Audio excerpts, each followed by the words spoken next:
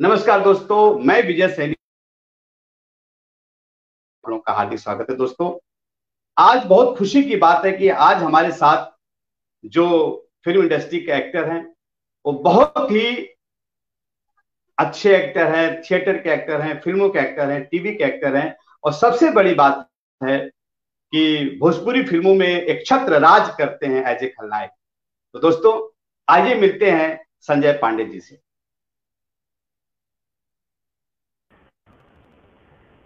स्वागत है संजय भाई कैसे हैं? Thank you thank you Vijay Babu. Thank you so much hello आप हाँ थैंक यू सो मच ठीक है? मैं बिल्कुल फ़र्स्ट क्लास हूँ अपना बताओ बहुत अच्छा लग रहा है देखकर आपको कि बस बढ़िया बढ़िया बढ़िया बहुत बढ़िया और बहुत खुशी हो रही है आपसे मिलकर।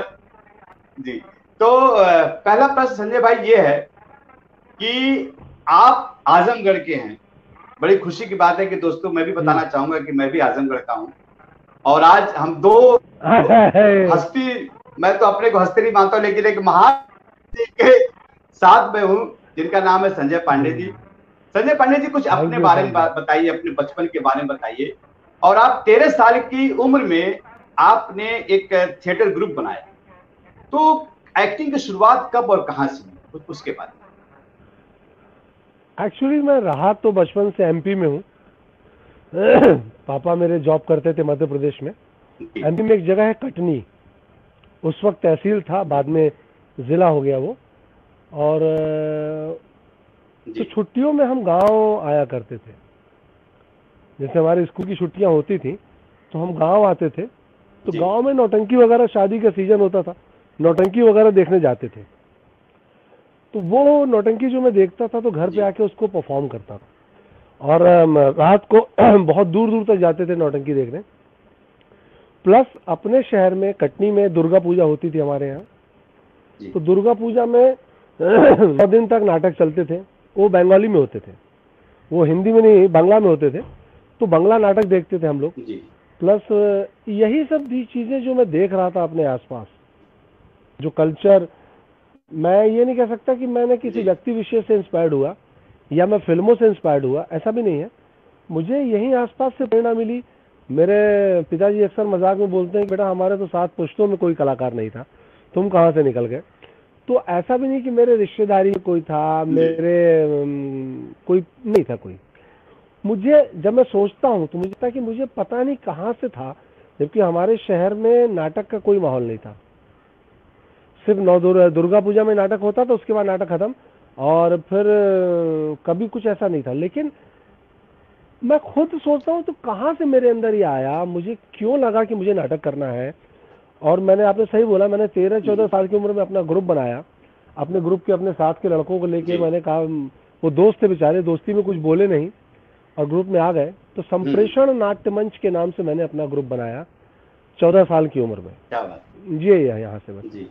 सॉरी मैं थोड़ा चाय का बहुत वो मुझे चाय की बहुत तलब लगती विजय बाबू। नहीं नहीं नहीं बिल्कुल बिल्कुल बिल्कुल प्लीज़ जी हाँ। तो तो पहला हाँ, नाटक आप कौन से किया तेरह साल की उम्र में? जी। तेरह साल की उम्र में आपने हाँ पहला नाटक तो पहले तो मैंने स्कूल में किया था जब मैं क्लास फिफ्थ में था और वो कोई नाटक नहीं था हमारे जबलपुर के दो जैसे स्टैंड अप कॉमेडी होती है ना उस तरीके से दो कॉमेडी करने वाले बहुत सीनियर एक्टर थे जिनका नाम था कुलकर्णी बंधु जबलपुर के थे। अच्छा। उनका मैंने देखा था कॉमेडी शो दोनों भाई मिलके करते थे कुलकर्णी बंधु। वो हम्म। मुझे याद हो गया था।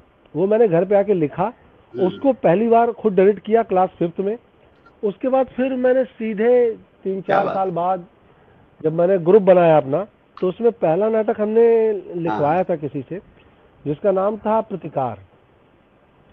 और हमने अच्छा। बहुत गंदा किया था क्योंकि हमें नाटक के बारे में कुछ पता ही नहीं था। तो हमें जो समझ में आया हमारे शहर में तो स्पीड गम भी नहीं मिलती थी क्रैप वर्क क्रैप भी नहीं मिलती थी दाढ़ी का कोई सामान नहीं। मैंने अपने एक इंटरव्यू में बताया कि मैंने एक बार दाढ़ी तो फेविकॉल से लगाई थी। और अच्छा। और किसी ने आइडिया दिया कि चेहरे पे गोंद लगाओ और गोंद के ऊपर चाय पत्ती छिड़क दो। तो दूर से दाढ़ी वाला लुक आता है वो। ओ, तो हमने वो एक्सपेरिमेंट हाँ। किया। तो पहला नाटक जो हमने किया था वो था प्रतिकार। और हमने बहुत दिनों तक जब तक जानकारी नहीं थी मेरा मकसद था कि नाटक चलता रहे जो लड़के जोड़ के लाया हूँ वो भागने ना पाए मेरे पास से। इस चक्कर में करता रहा मैं। बिल्कुल। हाँ हाँ हाँ। संजय भाई मैं बोलूँगा कभी कभी बीच में हम मेरा नेटवर्क चला जाता है। तो अगर कट जाए तो आप कंटिन्यू करते रहिएगा okay. फिर मैं ज्वाइन कर लूँगा।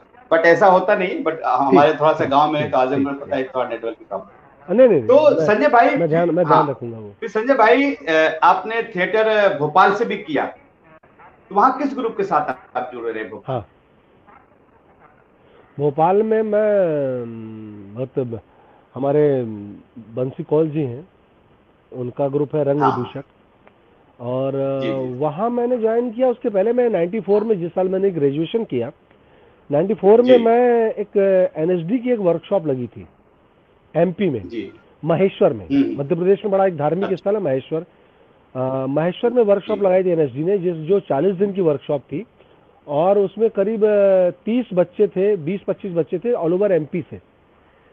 तो मेरे शहर से मुझे सेलेक्ट किया गया था कटनी से और मैं गया था और मेरे एक मित्र थे वो आज एनएसडी में है सदानंद पाटिल।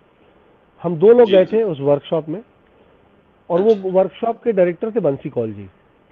बंसी जी ने उस शो के बाद जब वर्कशॉप खत्म हुई हमने शो किया इंदौर में भोपाल में तो बंसी जी ने से मेरी बात हुई उस शो को लेके मतलब ग्रुप को लेके और उनके ग्रुप को मैं देख चुका था।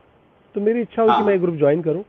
और अक्टूबर में अक्टूबर 94 में हमारी वर्कशॉप जुलाई से लेकर अगस्त तक चली थी और हम मैंने अक्टूबर में 94 में रंग बंसी जी का ग्रुप रंग विदूषक ज्वाइन कर लिया था। क्या जी। अच्छा इसके बाद जब आप थिएटर करते करते आपको कब लगा कि अब मुझे मुंबई जाना चाहिए फ़िल्मों में काम करने के लिए?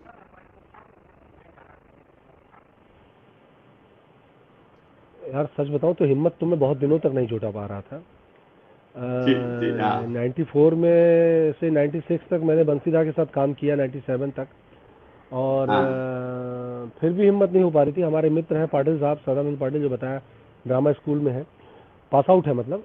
वो बोले यार मुंबई चलते हैं। उनका कोई जान पहचान वाला था नहीं। मेरे पास सूटकेस रखने की एक जगह थी डोम्बीवली में। अच्छा। मेरे गाँव के हमारे पड़ोसी हैं जायसवाल फैमिली वो रहते हैं वहाँ हाँ। पर उनके रेस्टोरेंट चलते हैं। और उनका अपना घर है वो लोग हमें बहुत मानते हैं। मैं जब सन नब्बे में मैं एक बार बॉम्बे घूमने आया था तो भी उन्हीं के घर पे रुका था डोम्बीवली में। तो एक घर मेरे पास ऐसा था वैसे हालाँकि मेरी रियल सिस्टर की जेठान भी थी मलाड में पर मैं उनके पास अच्छा। उस वक्त नहीं जाना चाहता था। तो मैंने कहा एक घर तो है जहाँ सूटकेस रख लेंगे छत मिल जाएगी। और पाटिल साहब बोले यार मेरा तो कोई नहीं है जानने वाला बम्बई में तो तुम्हारे साथ ही चलना होगा। चलो भाई। तो उनके कहने पे मैं चला आया। हाँ। तो उनके कहने पे आया और उस वक्त मुझे वो बोले आप कितना कितना सीखते रहोगे? मुझे लगता था और सीख लू और कुछ जान लू क्योंकि मैं हमेशा हम्म। कहता हूँ बम्बई बाज़ार है। और बाज़ार में प्रोडक्ट बिकता है बनता नहीं है। मुंबई एक मेला है जहाँ यहाँ पर सामान बिकता है। यहाँ प्रोडक्ट बनता नहीं हाँ, बनता तो कहीं और है। तो मुझे लग रहा था मैं अपने शहर में और इस प्रोडक्ट को मतलब खुद को और मज़बूत कर लूँ। तब मुंबई जाऊँ पूरी ज़िंदगी पड़ी है। एक बात हमेशा मेरे पापा कहते हैं कि बेटा पढ़ने की और सीखने की एक उम्र होती है। उसके बाद आदमी फिर काम करता है। हमारे गुरु जी भी कहते दुबे जी भी कहते थे कि जब आदमी काम करने लगता है तो सीख नहीं पाता। इसलिए जब काम नहीं होता है तब वो सीखता है। तो मुझे लगा और सीख ले लेकिन चला आया। आया फिर वापस चला गया। यहाँ एडजस्ट नहीं कर पाया। एडजस्ट नहीं कर पाया मिस्टर कि हमें रहने वाले की बड़ी दिक्कत हो रही किस सन की बात है? और हम नहीं हो? पा रहा था। मैं 97 में आया था। हाँ। और तीन महीने रह के फिर चला गया। अच्छा अच्छा हम्म। मैंने कहा आप पूरी हम्म। तैयारी से आऊँगा। और मैंने और मैं था और सदानंद पाटिल और हमारे एक मित्र और थे मानव कौल। हम तीन लोग थे। हाँ और हमने कहा भाई अब घर चलो और वापस आओ। तो अपने साथ एक एक दोस्त लेकर आओ रूममेट लेकर आओ बड़ा घर लो और अच्छे से रहो। ऐसे तो नहीं होगा। तो फिर हम लोग वापस चले गए। हम्म। फिर हम आए 98 अच्छा। 98 में हम मतलब ये दो चार पाँच लोग आए मुंबई। और हमने दहीसर में घर लिया। वन बी एच के अच्छा। कि अभी प्रॉपर तैयारी से आएगी ढाई भाई पहले रहने का ठिकाना फिर इसके बाद। हम्म। हाँ ऐसे नहीं स्टेशन पे सोना हाँ, या फुटपाथ पे सो के हमको स्टार नहीं बनना था। और वो गलत फहमी भी है लोगों की ऐसे हाँ। सोने से कोई स्टार नहीं बनता। फैक्ट फैक्ट हाँ। हम्म। जी। बस उसके बाद फिर फिर, अ, में मैं- हाँ। मैं थोड़ा सा कमेंट्स पढ़ देता हूँ कुछ हमारे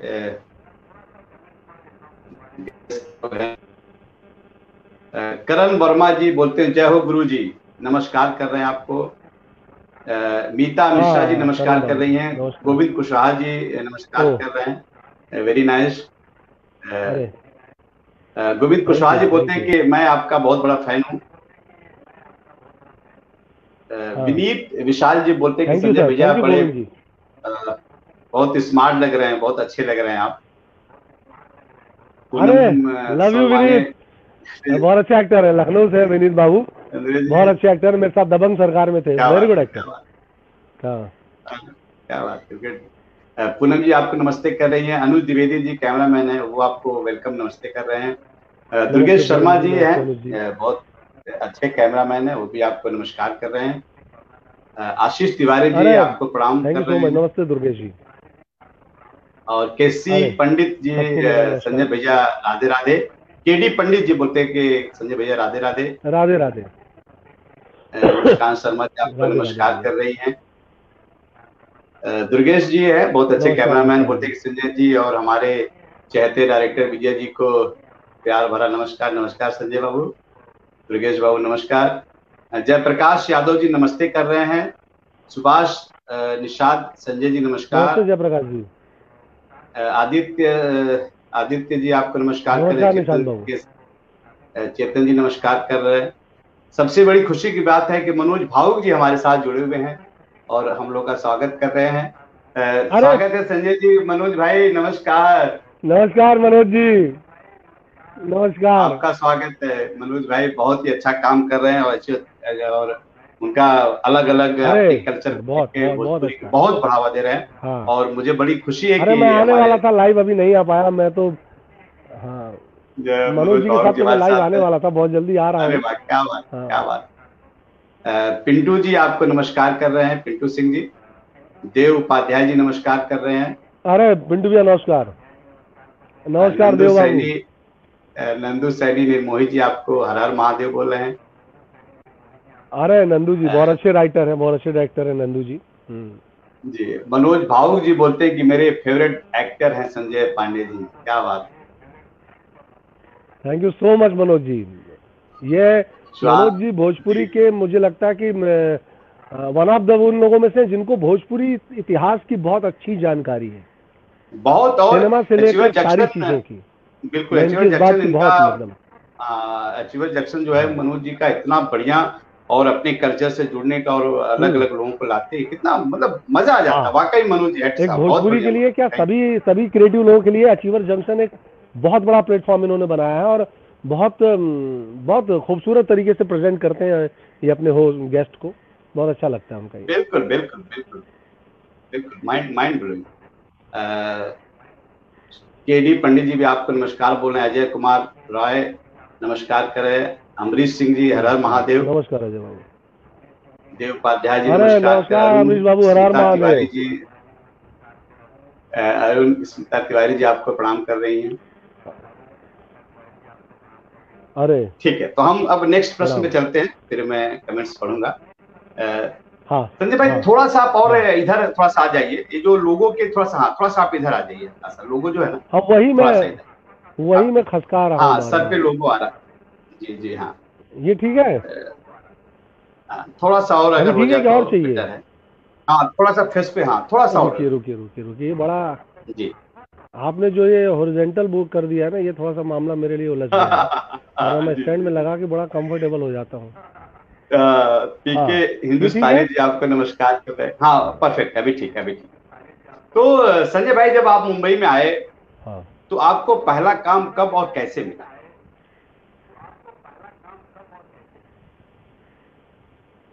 हाँ ये बात मैं बताना बहुत ज़रूरी समझता हूँ कि मैंने आने के बाद मेरी किस्म खुशकिस्मती से मुझे दुबे जी मिल गए। पंडित अच्छा। सत्यदेव दुबे जी। उनके ग्रुप में एंट्री मिल गई। और फिर वही बात कहते हैं ना आप जो चाहते हैं भगवान आपकी कहीं ना कहीं सुनता है। तो मुझे लगा कि यार दुबे जी के साथ काम करने का मौका मिला है और ये पता नहीं कब मिलेगा दोबारा मौका ज़िंदगी में। काम करने के लिए तो पूरी उम्र पड़ी है तो उनके ग्रुप में मैंने जब ज्वाइन किया तो मैंने स्ट्रगल बंद कर दिया। मैंने कहा मुझे सिर्फ़ सीखना है। बहुत जानकार टीचर थे दुबे जी आज हमारे बीच नहीं है। तो मैंने दो साल 98 से लेकर 2000 तक हल्का फुल्का स्ट्रगल करता था। लेकिन कोई काम वाम नहीं मिल रहा था मैंने सिर्फ़ थिएटर किया सीखने की कोशिश की दो साल। जी उसी दौरान हल्का फुल्का टाइम जब मिलता था तो मीटिंग वीटिंग करता था स्ट्रगल करता था मैं। तो आ, मैं 2000 में मेरा पहला सीरियल जो आया स्टार प्लस पे। तब स्टार प्लस उतना फ़ेमस नहीं था जी टीवी का बड़ा दौर था। हम्म। उस पे आया अंतराल जिसमें मेन लीड में थे ओमपुरी और जॉयसेन दास गुप्ता जॉयसेन के फ्रेंड का रोल था मेरा। और वो सीरियल टेलीकास्ट हुआ था 2 अगस्त को। और तो पहला सीरियल था मेरा अंतराल स्टार प्लस पे आया अच्छा, जी। अच्छा। अब संजय भाई सीरियल और हिंदी फ़िल्मों में काम करते करते आपको भोजपुरी फ़िल्मों की तरफ़ कैसे झुकाव? और आज आप एक बेदशाह बादशाह हैं आदम। भोजपुरी में विजय बाबू ऐसा भोजपुरी का दौर तो था नहीं उस वक्त। भोजपुरी का दूसरा दौर जो कुणाल जी के बाद का दौर था वो ठंडा हो चुका था। गाहे बगाहे कुछ फ़िल्में बन रही थी तो बन रही थी। और उस दौरान एक सीरियल ई टीवी ने अपने कुछ प्रादेशिक सीरियल शुरू किए थे रीजनल अच्छा। E TV Bihar E TV Madhya Pradesh E TV Uttar Pradesh. E TV Uttar Pradesh Bihar एक चैनल था। अच्छा, उस हाँ। चैनल के लिए एक सीरियल बन रहा था जिसके प्रोड्यूसर थे शाहरुख मिर्ज़ा और जिसके डायरेक्टर थे राजकुमार आर पांडे जी।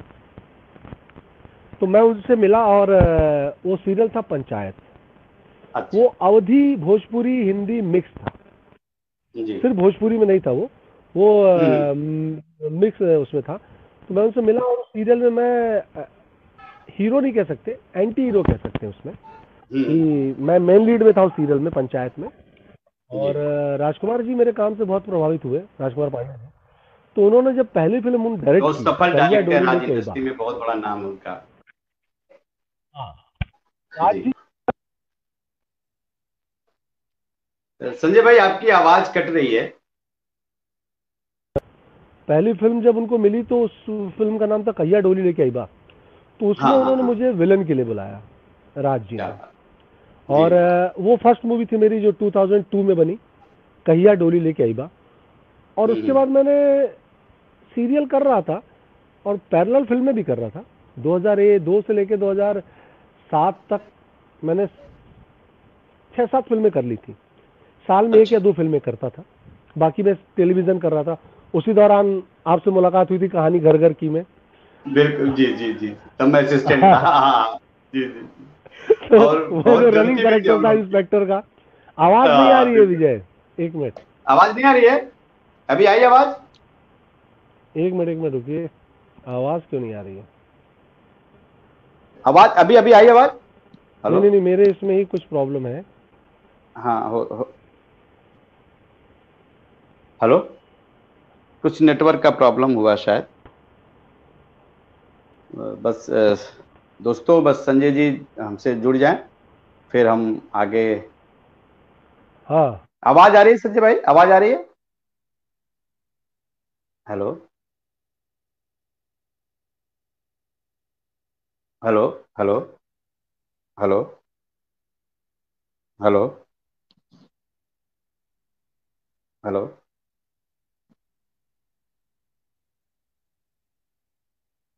Hello? Hello. Sanjay भाई, एक बार फिर से आप लॉगिंग होइए। हाँ हाँ हाँ फिर से एक बार आप आइए। बस दोस्तों संजय जी हमारे बीच बस दो मिनट में हाँ आ गए।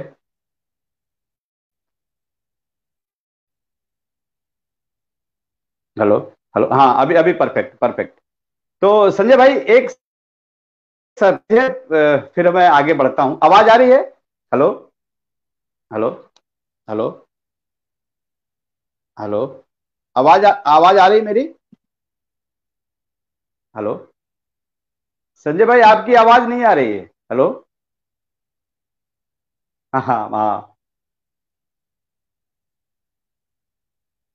नो प्रॉब्लम नो प्रॉब्लम हाँ।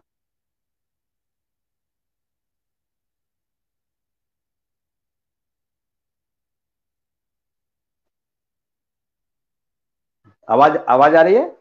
हेलो हेलो आपकी आवाज़ नहीं आ रही संजय भाई। हेलो आपकी आवाज़ नहीं आ रही है? हेलो आपकी आवाज़ नहीं आ रही। हेलो हेलो कुछ टेक्निकल प्रॉब्लम है दोस्तों, बस दो मिनट। हेलो हेलो आपकी हाँ आपकी आवाज़ नहीं आ रही है। तो दोस्तों, संजय पांडे जी एक बहुत बड़ा नाम है फ़िल्म इंडस्ट्री में, भोजपुरी इंडस्ट्री में, जिन्होंने एज ए खलनायक एक हिस्ट्री बनाई है इन्होंने। बस हमारे बीच में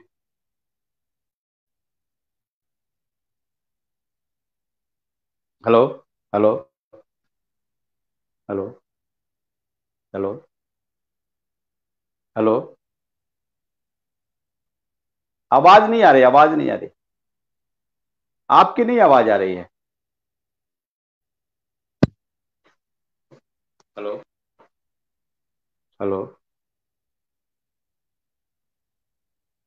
हेलो? हेलो? बस हमारे बीच में। हेलो? आवाज़ आवाज़ नहीं आ रही आवाज़ नहीं आ रही है हेलो हेलो हेलो हेलो आवाज़ नहीं आ रही आवाज़ संजय भाई, आपकी आवाज़ नहीं आ रही है। हेलो। बस दोस्तों, दो मिनट।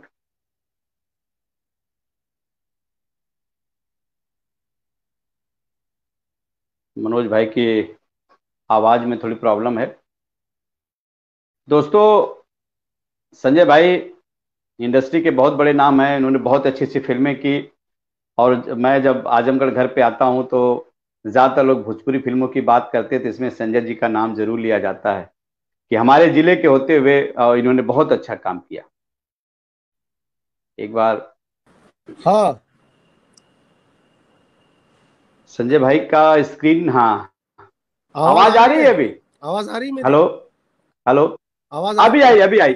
हाँ अभी आई अभी आई आवाज़। टेक्निकल हाँ हाँ। परफेक्ट परफेक्ट परफेक्ट तो हाँ कोई नहीं हाँ। तो ऑनलाइन में हो जाता है। संजय भाई मैं एक सरप्राइज़ देता हूँ आपको इसके बाद फिर हम लोग आगे बढ़ेंगे। हाँ दो मिनट। स्वागत है सर आपका। अरे!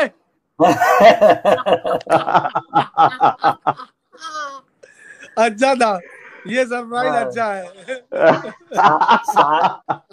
सारे आज़म गढ़िया एक ही जगह जमा हो गए क्या बात है हा? सारे आज़म गढ़िया एक ही बिल्कुल बिल्कुल। है? बिल्कुल और दोस्तों मैं महेश सर के बारे में बता दूँ किसी परिचय के मोहताज नहीं है आप आजमगढ़ ज़िले के हैं लेकिन आज फ़िल्म इंडस्ट्री में बहुत बड़ा नाम है as a writer as a producer as a director. तो महेश सर आपका बहुत बहुत स्वागत है सर आपका। और जी हाँ। तो। संजय जी के साथ आपने बहुत काम किया है और संजय जी आपके पुराने दोस्त हैं हम लोग सबके दोस्त। कुछ उनके बारे में सर बताइए एक, एक थोड़ा सा मैं रोक रहा हूँ विजय बाबू आपको। बिल्कुल बिल्कुल बिल्कुल। सवाल आया था। फेसबुक पे किसी ने सवाल किया था कि आ, किस डायरेक्टर या प्रोड्यूसर की आपने सारी फ़िल्में की हैं? अच्छा। तो वो पहले तो मुझे कईयों के बारे में भ्रम था कि इनके साथ हाँ। उनके साथ हूँ ये मेरे बिना ज़िंदगी में कभी फ़िल्म नहीं बना पाएँगे।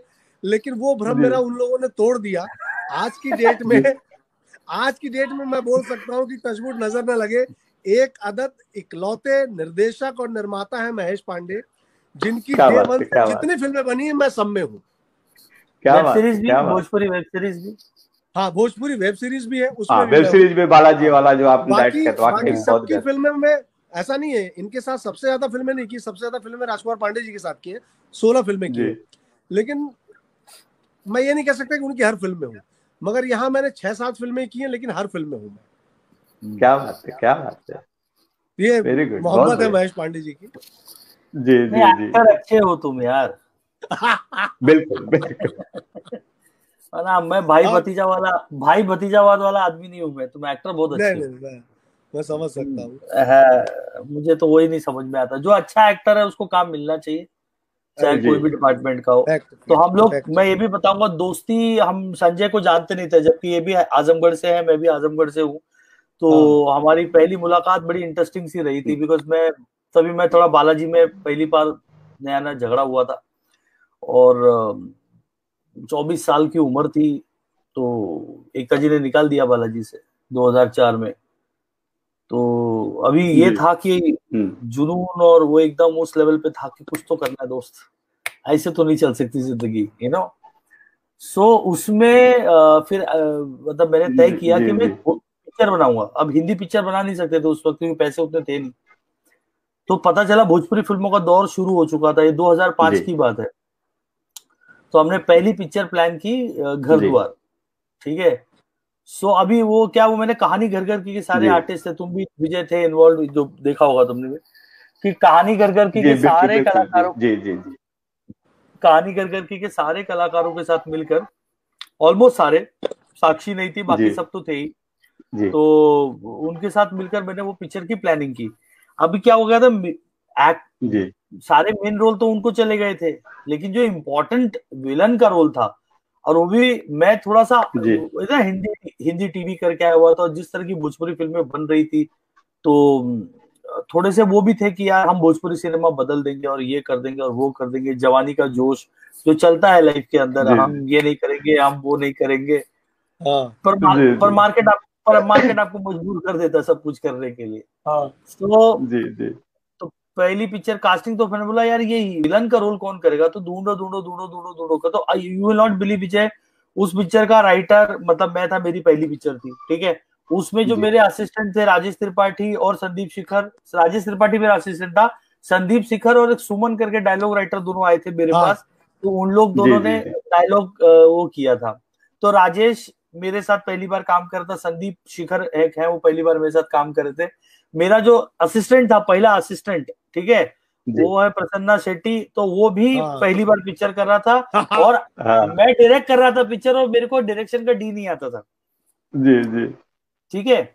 सो अब हम हम लोग एक लेकिन आपने इतने बड़े बड़े सीरियल लिखे थे मतलब कहानी घर घर की मुझे याद है कि जब मैं बालाजी में असिस्टेंट था तो आपके मतलब जलवे थे कि जिस सीरियल पे आप हाथ लगा दो हिट होना ही होना है। टाइम था अच्छी बात थी बड़ों का आशीर्वाद था निकल गई चीज़ें। उस वक्त उम्र भी 21 साल की थी। सक्सेस क्या होता है फेलियर क्या होता है हम तो मस्ती में ही थे। पार्टियाँ कर रहे हैं एंजॉय कर रहे हैं। एकता जी का एकता जी का टाइम अच्छा चल रहा था तो हम लोग सबका टाइम अपने आप अच्छा हो गया मैं तो ये मानता हूँ। कि पहले एक दो साल तो एकता जी का ही हाथ रहा मेरे करियर के अंदर सिखाने के लिए हर चीज़ करने के लिए बिकॉज़ मैं राइटर था नहीं। लेकिन द आज संजय के बारे में बात करें तो फिर आज संजय के बारे में बात करते हैं हम मेरी ज़िंदगी के बिल्कुल, बाद में बात करेंगे। तो- जी जी जी। तो संजय पांडे जो है वो आए मेरे पास ऑफ़िस में तो इन्होंने कोई पिक्चरें कर रखी थी छह सात सी। ना नदिया के तीर ने तो ये ना तो ये। नहीं तीन चार तीन चार फ़िल्में। तीन चार पिक्चरें थी और नदिया के तीर बहुत नाम सुनता था मैं नदिया के तीर। मैं हाँ। अपने असिस्टेंट को बोलता था साला टाइटल ही इतना बकवास है डेटेड है नदिया के तीर ये देखा ये ऐसा वाला है। ये आया आदमी और हम क्या होता पहली बार जब मुलाकात होती है ना तो थोड़ा सा देखो वो आप भी थोड़ा अच्छे टैलेंटेड आदमी हो सामने वाला भी टैलेंटेड आदमी है। पता नहीं क्यों ज़्यादा कॉन्वर्सेशन नहीं हुई it was very formal meeting meeting you know जी। कि हाँ जी इतने दिन का काम है ये विलन का कैरेक्टर है और ये है वो है अब राजा नाम का प्रोडक्शन वाला था उसको बोले इससे पैसे की बात कर लो ठीक है मैं भाई, समय पर मैं भाई। एक मिनट मैं जब ऑफ़िस में एंटर किया ना तो कास्टिंग लिस्ट पूरी लिखी हुई थी हाँ और लिस्ट में मेरा नाम दसवें ग्यारहवें नंबर पे था तो मैंने हम्म। अच्छा। इस किरदार का नाम दसवें ग्यारहवें नंबर पे कितना इम्पोर्टेंट करेक्टर होगा ये तो मैंने हाँ। जाते वक्त एक लाइन पूछी थी मैंने कहा भाई मैं डिसअपॉइंट तो नहीं होऊँगा क्योंकि मैंने अब तक तीन चार फ़िल्में की है मेन विलन किया है तो महेश ने बड़े कॉन्फिडेंस के साथ कहा कि संजय जी मैं आपको पूरी स्क्रिप्ट दूँगा। हाँ। आप स्क्रिप्ट पढ़ के सेट पे आइएगा। आपके साथ कहीं कोई धोखा नहीं होगा। वो हाँ। बहुत इंपॉर्टेंट कैरेक्टर है जो हम आपसे करवा रहे हैं। तो आप स्क्रिप्ट पहले पढ़ लीजिए। रणवीर सिंह। हाँ। हाँ तो हाँ। तो हम मिले फिर यार सेट पे। हम लोग गए कादिराबाद आउटडोर करने के लिए और हम लोग बहुत मज़े मारे उस आउटडोर में। बहुत मज़ेदार आउटडोर था हमारा art director dance art director पता चला उसको उसको आता ही नहीं है वो चुनाई पुताई करने वाला आदमी था। डांस डायरेक्टर था वो अच्छा आर्ट डायरेक्टर था ठीक। है डांस डायरेक्टर दो दिन बाद आर्ट डायरेक्टर बन गया। वो कलर बोलता है सर मेरे ने कोरियोग्राफ किए। तो मेरे को बोलता है सर मेरे को ड्राइंग करनी बहुत अच्छी आती है। मेरा दिमाग खराब हो रहा है। मैंने बोला कैसे पागलों को ले आया वो और मेरा तो हाईलाइट था कि मेरे को तो डायरेक्शन भी नहीं पता था तो मैं अलग और मैं बता भी नहीं सकता था किसी को। कि मैं मेरे को आता ही नहीं करना। सिनेमा पे तो मैंने काम ही नहीं किया लाइफ के अंदर। जी। और उस समय इतना मोबाइल वोबाइल फ़ोन का नेटवर्क नहीं होता था गाँव के अंदर यू नो जी जी। पहले वो नोकिया वाले फ़ोन थे मोटोरोला वाले फ़ोन थे 2005 में। तो ऐसा नेटवर्क भी लेने के लिए गाँव के कुएँ पे जाना पड़ता था मतलब वो कादिराबाद में वैसा तो इधर ही नेटवर्क आता है वैसा वाला। तो खैर ये चलता रहा शूटिंग चलती रही बहुत मतलब स्मूथ भी हो रही थी पर मैं बहुत टाइम ले रहा था चीज़ों के अंदर मतलब मैं टाइम पे शूट नहीं करके खत्म नहीं करता था मेरा पैकअप होने का मेरा होने को टाइम ही फिक्स नहीं था ओके तो फिर मैंने रात को एक सीन लगाया। अच्छा। तो मैं दो तीन दिन इसका जो सीन के साथ घटनाक्रम था एक ये लोग क्या after they rape the girl उसके बाद ये लोग निकल रहे होते वहाँ से ठीक है ना? तो इनका इसका रेवल्यूशन का सीन था इसका और एक इसके साथ और एक एक्टर इसका भाई बना था उसका। सो so, रेवल्यूशन का सीन था। तो तीन दिन तक तो हम लोग बोले आज रात को करेंगे। ये तीन दिन तक भाई मेरे को क्या मालूम है भूखा सो रहा है सेट के ऊपर। ठीक है? ये खाना ही नहीं खाता था ये खाना ही नहीं खाता था दोपहर के बाद से। क्योंकि उसको बहुत इंदर, उसका टेक्निकल प्रॉब्लम था कि बहुत हाई मतलब उसमें उसको डायलॉग बोलना था। हाई पिच का सीन था और आपका पेट भरा रहेगा। और फुल ऑन राउंड ट्रॉली था। ना आपको नींद आएगी आपको आलस आएगी। और मेरे लिए वो बहुत इंपॉर्टेंट सीन था कि पूरा मतलब गाँव खाली करवाया जाता था। हाँ हाँ नहीं मतलब तो वो गाँव वाला एंगल मैं बिल्कुल भूखा बैठ बैठा रहता था कि अब सीन होने वाला है। ये भाई साहब दो बजे आके कहते थे संजय कल करेंगे सीन अब दो बजे सब खाना खत्म सब खा पी के सो गए खाना कौन रखेगा आपके लिए? अच्छा मेरे को मेरे को मेरे लिए ऐसा देखो उसी मैं पहले एक्टिंग करना चाह रहा था ठीक है? और मैं मेरी अपनी मजबूरियाँ रही लाइफ के अंदर कि मैं एक्टिंग कंटिन्यू नहीं कर पाया। मेरे को अपना मौका मिला बालाजी के अंदर मैं राइटर हो गया। सो so, आए एक एक ऑब्वियसली एक बेसिक ज्ञान होता है बट मैंने उससे पहले तक ना ऐसा किसी एक्टर से मिला नहीं था जो साला तीन दिन तक भूखा सो रहा है और उसको रात को खाना ही नहीं मिलता है। तो मेरे को थर्ड डे इसने बताया दैट कि यार तुम थर्ड डे थोड़ा बढ़ गया है तीसरे दिन जब मैंने कैंसिल किया। अब मेरा क्या मूड पे होता था विजय? अभी नहीं कर रहा अभी नहीं करने का चलो चलो अभी क्रिकेट खेलते चलो क्रिकेट खेलते तो मेरा वैसी शूटिंग मेरा शूटिंग वैसी ही होता है। अभी अभी नहीं करते। अभी रुको ना यार आराम से कुछ बनाते कुछ सोचते अच्छा सा करेंगे। तो लोग आधा पागल भी बोलते थे बोले भोजपुरी पिक्चर बनाया क्या? बना रहे मुगल आज़म बना रहे ज़बरदस्ती का लोगों को लेके बैठा हुआ यहीं पे। तो तीसरे दिन जब इसने मेरे को बुला के बोला संजय आज नहीं करे कल करेंगे। कोई टेक्निकल इशू हुआ था यार। शूट करने लगाते थे कैमरा पूरा गाँव आ जाता था। तो और गाँव चाहिए नहीं था और मेरे को बीच गाँव के अंदर गाँव रिवील करना था। गाँव के बीच में सन्नाटे में सीन करना था थोड़ा सा वो चल रहा था। जी। तीसरे दिन जब कैंसर थोड़ा भड़क गया भाई बोले कौन सा मज़ाक लगा रखा है तुम लोग तीन दिन से तुम लोग खाना खाना नहीं दे रहे धीरे तो मेरा भी उस लेवल का ईगो तो हमने बोला क्या वो रहने के लिए। करो बोले उसको बोले जाके बोलो जो करना करेगा ज़बरदस्ती का। कल रात में शूट करने करेगा तो हमारी कोई बातचीत नहीं हुई ठीक है ना? झगड़ा भी नहीं हुआ बातचीत भी नहीं हुई। उस, उसने मेरे असिस्टेंट को सुनाया होगा मैंने अपने असिस्टेंट को सुना दिया। बोला मेरे सेट पे ना मेरे से बड़ा स्टार कोई नहीं होता समझ गया ना? उसे जाके बोल दे। करना तो करे वरना जाए। मेरे कोई प्रॉब्लम नहीं है। मतलब उस तरह का था। करना तो करे वरना जाए यहाँ से। मैं दूसरे किसी को बुला लूँगा मुझे फ़र्क नहीं पड़ता है। ठीक है? तो उस वक्त तक क्या होता है जब तक आप किसी को जानते नहीं हो ना तब तक आप गधे और घोड़े में फ़र्क नहीं करना जानते हो वेरी फ्रैंक टू से बिल्कुल बिल्कुल बिल्कुल। चौथी रात को बाबा वो कैमरा लगा उधर और क्या था मॉनिटर नहीं था क्योंकि राउंड ट्रॉली में उस वक्त जो आज की टेक्निक से वैसा वाला टेक्निक तो था नहीं। नहीं था बिल्कुल बिल्कुल। और और हम लोग शूट कर रहे थे रील पे स्टॉक पे शूट कर रहे थे। हाँ। और पूरा गाँव खाली होना था तो पूरा गाँव खाली कराया गया। रात को दो बजे शूटिंग शुरू की हमने। सबको ऐसा बोला पैकअप हो गया। तो दस बजे हमने हमने आठ बजे ही पैकअप कर दिया। बोला जाओ खाओ पियो आराम से सो जाओ सब लोग। ठीक है? उसका रात को दो बजे हम लोग शूटिंग करेंगे। तो रात को एक बजे हल्के से हमने अपना मूवमेंट शुरू किया जब गाँव सन्नाटे में था।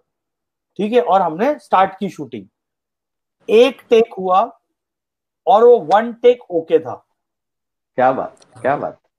और वो सीन जो है आज भी आप जाके देख सकते हैं। घर द्वार का मेरे ख्याल से ढाई से तीन मिनट का वो शॉट है। पहला बिफोर ही रिवील्स दैट कि उसका असली मकसद क्या था वो हुआ और मैं ना सिर्फ़ उसको ऐसा ट्रॉली के साथ ना कैमरे के पास ऐसा बैठा हुआ हूँ और मैं इसकी परफॉर्मेंस में लाइव देख रहा हूँ इसे। ये जैसे कैमरे के, कैमरे के स्टैंड के नीचे कैमरे के स्टैंड के बीच में तभी तो मैं पतला था तो बैठ गया था। हाँ। तो मैं आराम से क्योंकि मेरे को वो नरेंद्र कैमरामैन था तो नरेंद्र बोला हाँ। भाई तू भी आके बैठ जाना थोड़ा सा वो मिल जाएगा। रहेगा। हाँ। तो मैं भी बैठ गया। साउंड वाला एक ट्रॉली में बैठा हुआ वो लेके सब बैठे हुए और चल रहा है। भाई मैं इसको परफॉर्म करते हुए देखा देखा देखा मैंने कट होते बोला कटेड ओके मैंने ओके बोल दिया। तो बोलता है भाई ओके हाँ, मेरे को तो ओके लगा था। अब मेरे को क्या बोलता है ये कैमरामैन बोला भाई मैंने को एक बार देखना पड़ेगा। मेरे टेक्निक के हिसाब से। तो लगाया गया वीडियो वीडियो पहले वीडियो होता था ना वीडियो पे कैसेट लगती थी। जी जी। तो वीडियो मॉनिटर क्या बोलते थे पहले उसको जिसमें वो लगाया हाँ। जाता था पहले? उसमें लगाया गया तो उसमें उसमें रिकॉर्ड ही नहीं हुआ वीडियो पे। अरे बाप रे ओहो री, रील पे है साउंड पे है। सब शूट हो गया है लेकिन बस वो वीडियो रिकॉर्डर पे शूट नहीं हुआ था जो हम लोग वीडियो रिकॉर्डर लगा के देख सकते थे। हाँ। अभी अभी ढाई मिनट का सीन इतना मेरे को तो अच्छा लग रहा था डे वन से बोला यार करेक्ट है करेक्ट है. लेकिन हम्म। होता है ना अभी यहाँ अगर ये गलत हुआ फिर मुंबई जाओगे फिर मुंबई जाके वापस से रिशूट करना पड़ेगा।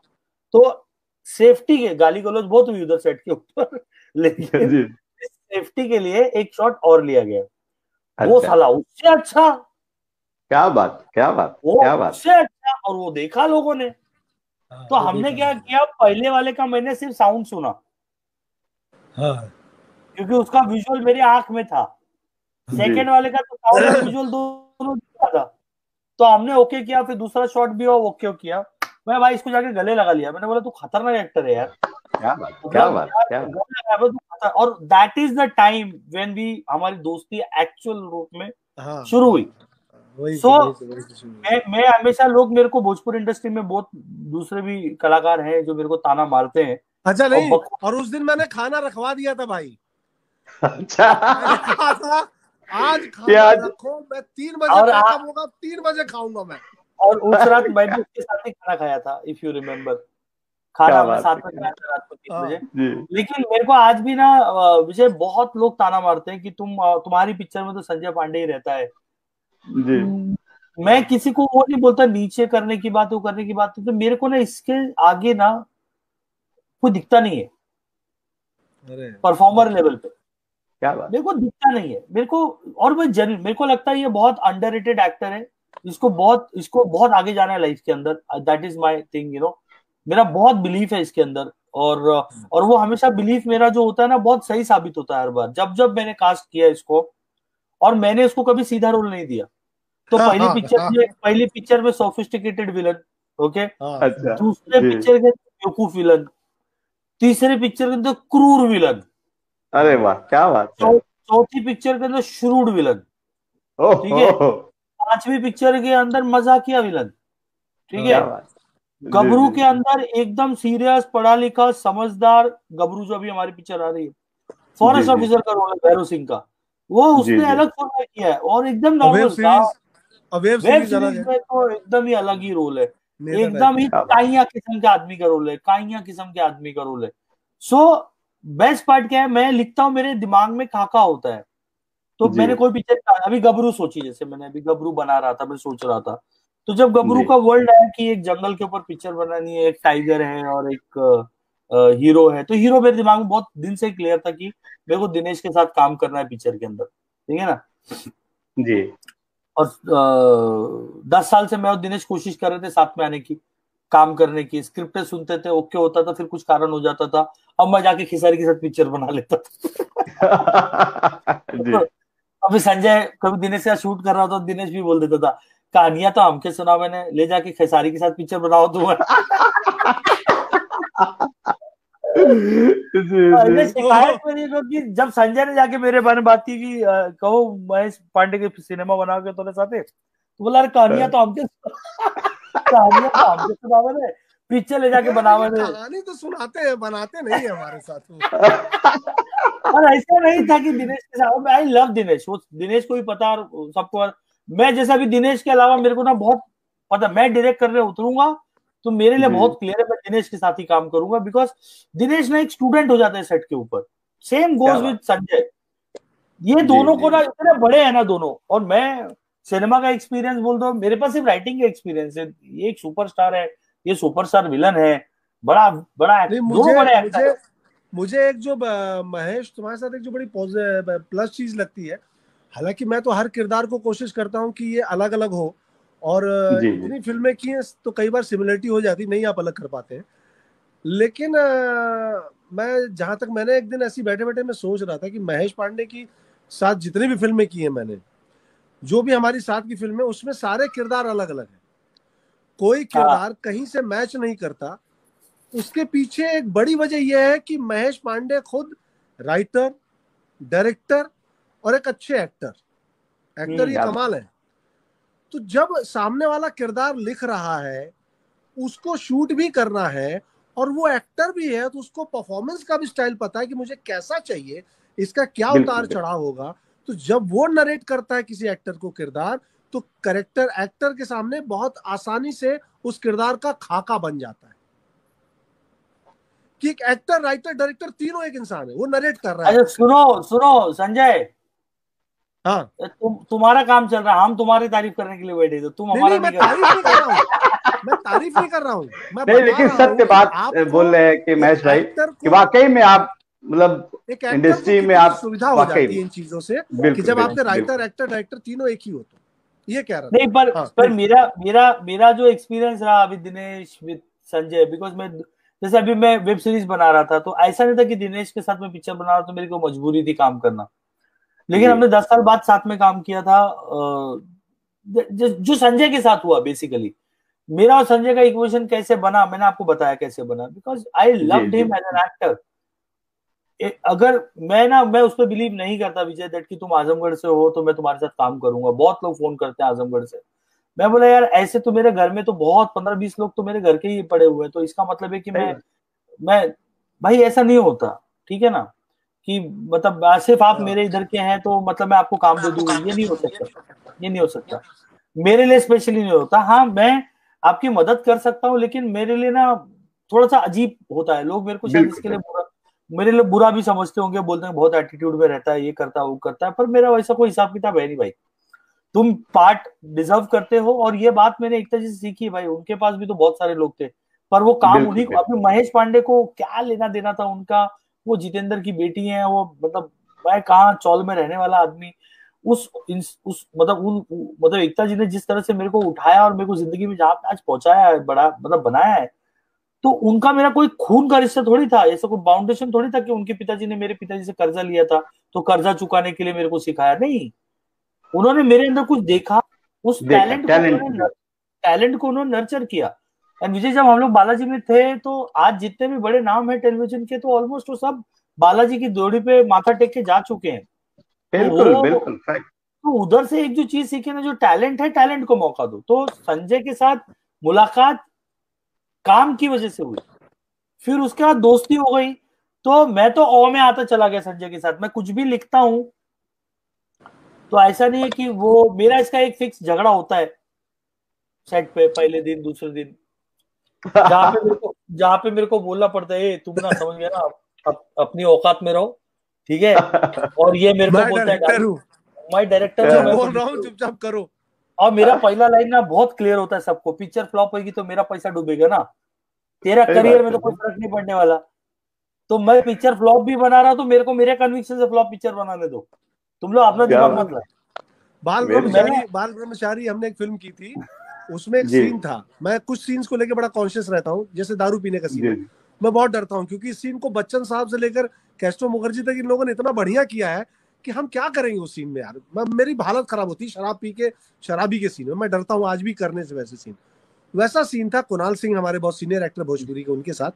और मैं करने के बाद उस सीन के साथ में मैं सेटिस्फाइड नहीं था।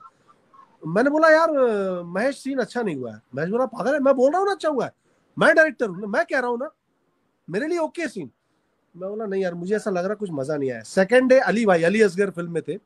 अली भाई को महेश ने बुलाया और वीसीआर लगा के और कैसेट लगा के वीएचएस में फ़िल्म दिखाई।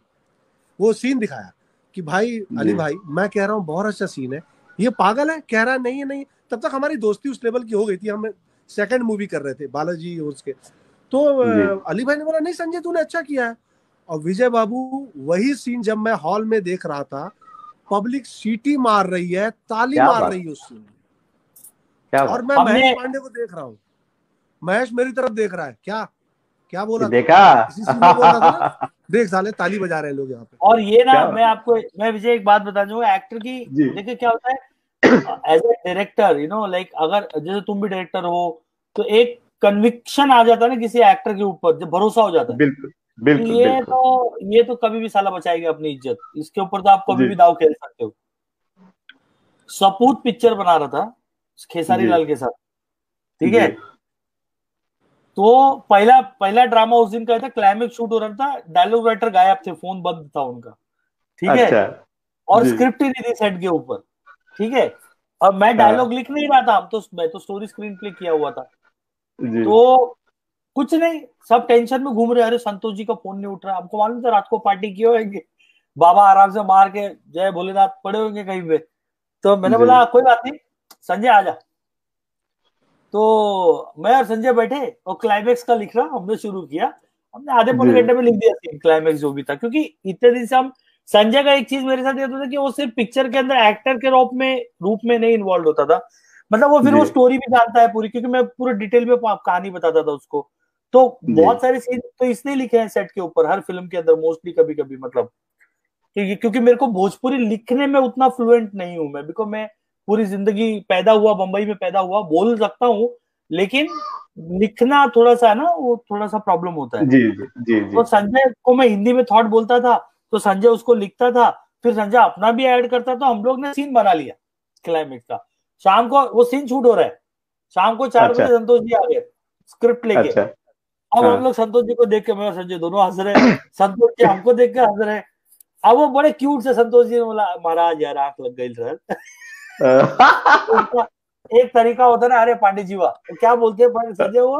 पांडे जीवा हाँ, हाँ वो अरे पांडे जीवा वो आँख लग गई थी थोड़ा सा। अरे लेकिन एक्टर विजय बाबू सीन में टफ ये हो गया कि जैसे डायलॉग्स तो थे एक पूरा आइडिया था कि मैं बता रहा हूँ मैं बता रहा हूँ मैं बता रहा हूँ मैं उधर ही आ रहा हूँ। तो ये हो गया। फिर हम लोग बैठे सीन शूट हो रहा फाइट हो रही है। हाँ। वो लड़ाई झगड़ा ये पहले दिन ना मैंने एक ही चीज़ करता मैं डायलॉग पोर्शन निकाल लेता हूँ। फिर क्या अच्छा। होता है वो एक्शन वाले के पास कैमरा गया ना तो कैमरा मिलता नहीं है वो दिन में आप मांगते रहे दो ना दादा एक दे दो सुधार करने का। वो कैमरा मिलता नहीं है। अरे दादा मेरा इतना बचा ये इधर से बचा वो उधर हाँ। से बचा है। तो ये सब हो गया ना मैंने ब्लास्ट प्लस दो तीन करवा दिया थोड़ा सा बेसिक फाइट हो गई। मैंने बोला बड़ा बड़ा शूट कर लो जो भी है। और मेरे को वो करो। तो मैं सीक्वेंस वाइजली करता गया तो दिन में हम आ गए क्लाइमेक्स में। अच्छा। मैं संजय को आके बोला संजय अभी तू ना तेरा पैर ना तेरे को ना इधर से खेसारी छोड़ देता है। खेसारी मनमोहन दोनों छोड़ देते हैं। अभी तूने खुद बम लगाया था ना तू खुद ही फंस गया। तेरे को खुद अच्छा। को मालूम नहीं बम की तेरे ठीक है? अभी कैमरा दो है। ठीक है? तेरे को जो करना है कर। ये तो लिखा ही नहीं था। वो तो एक कैमरा दो है तेरे को बस इधर से ऐसे आके ऐसे आना है। और उधर एक हाँ, आदमी लेटा हुआ है तेरे एक लाइन तो इसने बोला मैं इधर एक लाइन इम्प्रोवाइज करूँगा। तो बोला हाँ तेरे लाइन हाँ। का इम्प्रोवाइज करने वाला बता तो फाइटर सोया हुआ था। फाइटर को बताया ऐसा बोलेगा। तो वो फिर वो आदमी कुछ बताता है फिर वो गिर जाता है। फिर इसको समझ में नहीं आता फिर ये कूदता है। तो वो ऑलमोस्ट एक डेढ़ मिनट का सीन है। क्लाइमेक्स में यार।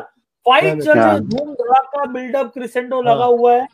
और उसमें एंड में जाके ना ये अचानक बोलता भाई मैंने तुम लोग को दस मिनट दिया तो मेरे को तो दस मिनट मैंने बोला ना मजाकिया विलन था। कैरेक्टर का नाम था गोरखू पंडित। तो बोल है हाँ। अरे तुमको दस मिनट दिया ना तो पाँच मिनट तो मेरा भी बनता है ना।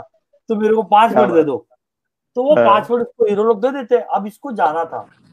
ये शूट कर लिया सब हो गया। पीछे खेसारी का भी मुँह बना होगा मनमोहन का भी मुँह मेरे को मालूम नहीं पीछे क्या हो रहा है। खेसारी और मनमोहन दोनों जूनियर आर्टिस्ट के साथ दोनों खड़े उधर ठीक है? हाँ, मनमोहन तो हाँ, मेरे घर का था तो उसको तो कोई प्रॉब्लम नहीं थी। लेकिन ऑब्वियसली भोजपुरी फ़िल्मों में हीरो हमेशा आगे रहता है। और मेरा क्या होता है हीरो हीरो वाला एंगल अभी खत्म हो रहा है तो हम लोग भी खत्म करें ना। भाई ये पिक्चर रिलीज़ होती है थिएटर में क्या और मैं नवरंग सिनेमा में था और मैंने इसको नवरंग सिनेमा से फ़ोन किया। हाँ। मैंने संजय को नवरंग सिनेमा से फ़ोन किया। कि ये मेरे को बोलता रहेगा तू पागल है ये है तू क्यों कर रहा है? तेरे को समझ में नहीं आ रहा है। ये क्यों कर रहा है? फ्लैट खत्म करना पिक्चर स्लो हो जाएगी। ऐसा हो जाएगा वैसा हो जाएगा इसका चलता है। मैं बोला ना मेरा इसका कभी सेटिस्फेक्शन वाला एंगल आता नहीं लाइफ के अंदर। हाँ। फिर हुआ ये कि एक्चुअली जैसे लोग इसको मारना शुरू किया विलन्स को पब्लिक उठनी शुरू हो गई कि अब चलो अब मज़ा खत्म अब तो मार देगा ना ये लोग। वो जैसे बोलता रुका रुका रुका पाँच मिनट देता हमके। पब्लिक ना भाई जो जिधर खड़ा था ना वो खड़ा ही रह गया। हाँ। क्या बात। लगा अभी भी डायलॉग वाले कुछ बचा है पिक्चर के अंदर? तो जो ऊपर क्या बोलते हैं बैल्कनी का जो पूरा वो रेलिंग नहीं होता है वो रेलिंग के पास सब लोग खड़े होकर पिक्चर देखने लग गए ऐसे। और नीचे भी खड़े हो गए। नीचे भी लोग पर्दे के आगे की तरफ़ आके खड़े हो गए। मैं आपको बता रहा हूँ मेरे को तालियाँ सुनाई दे रही थी नीचे स्टॉल में से जिस तरह से वो कर रहा था कॉमेडी उसके अंदर अपनी जान बचाने के लिए। So this is my equation बहुत मैंने इसको फ़ोन लगाया बोला देख पब्लिक का रिएक्ट कर रही है पब्लिक हाँ, फ़ोन आया था। बहुत मज़ा आया was very happy so this is my equation with Sanjay Pandey because मैं इसके साथ ना कोई भी रिस्क ले सकता हूँ। एज अ एक्टर देखो दोस्ती मेरी इसकी अलग लेवल की है ठीक है ना? हाँ, मेरी और इसकी दोस्ती में तो हमारी बीवियाँ भी बोलती रहती है लेकिन भाई हमारी सबसे बुरी हालत ये होती है ना महेश कि आपने दो कैमरा लगा दिया और एक्टर को पता नहीं है कि भाई तू यहाँ से यहाँ तक जाएगा तू क्या करेगा तू क्या बोलेगा तू डिसाइड कर। तू एक कितना बड़ा चैलेंज होता है कि आपको इतने मिनट ऑडियंस को होल्ड करना है। आप क्या बोलेगा? कॉमेडी करना है। अगर ऑडियंस हिल गई तो आपकी तो एक्टिंग की लग गई मतलब। तो दिखाओ बेटा कितने बड़े एक्टर हो तुम। चलो आ जाओ। कैमरा लगा डायरेक्टर हम्म। बैठ गया मॉनिटर पे करो संजय पांडे आओ चलो। जैसे जैसे मैं, मैं मेरे जैसे बायस्ड होना ना देखिए मैं एक पिक्चर में बायस एक पिक्चर में बायस्ड हुआ था संजय को लेके ठीक है ना? जो। बायस मतलब मैंने एक सीन लिखा मुझे लगता है वो पिक्चर इसलिए चली नहीं। ओके जबकि ये लोग मानते नहीं है मेरी बात ये मनमोहन ये लोग मेरी बात नहीं मानते। पिक्चर थी रानी चली ससुराल। ठीक है? उसमें इसका कैरेक्टर जो था ना वो बहुत श्रूड आदमी का था। बल्ली ठाकुर। बहुत बल्ली ठाकुर बहुत शुरू आदमी का तो परफॉर्मेंस देखना यार उसके तो जितने भी अपने इंडस्ट्री के हीरोज है जिन्होंने भी ये पिक्चर देखी ना सब बोलते भैया पिक्चर में संजय भैया किरदार बहुत खतरनाक है। एकदम एकदम ही मतलब साढ़े तीन सौ फ़िल्में की है मैंने उन साढ़े तो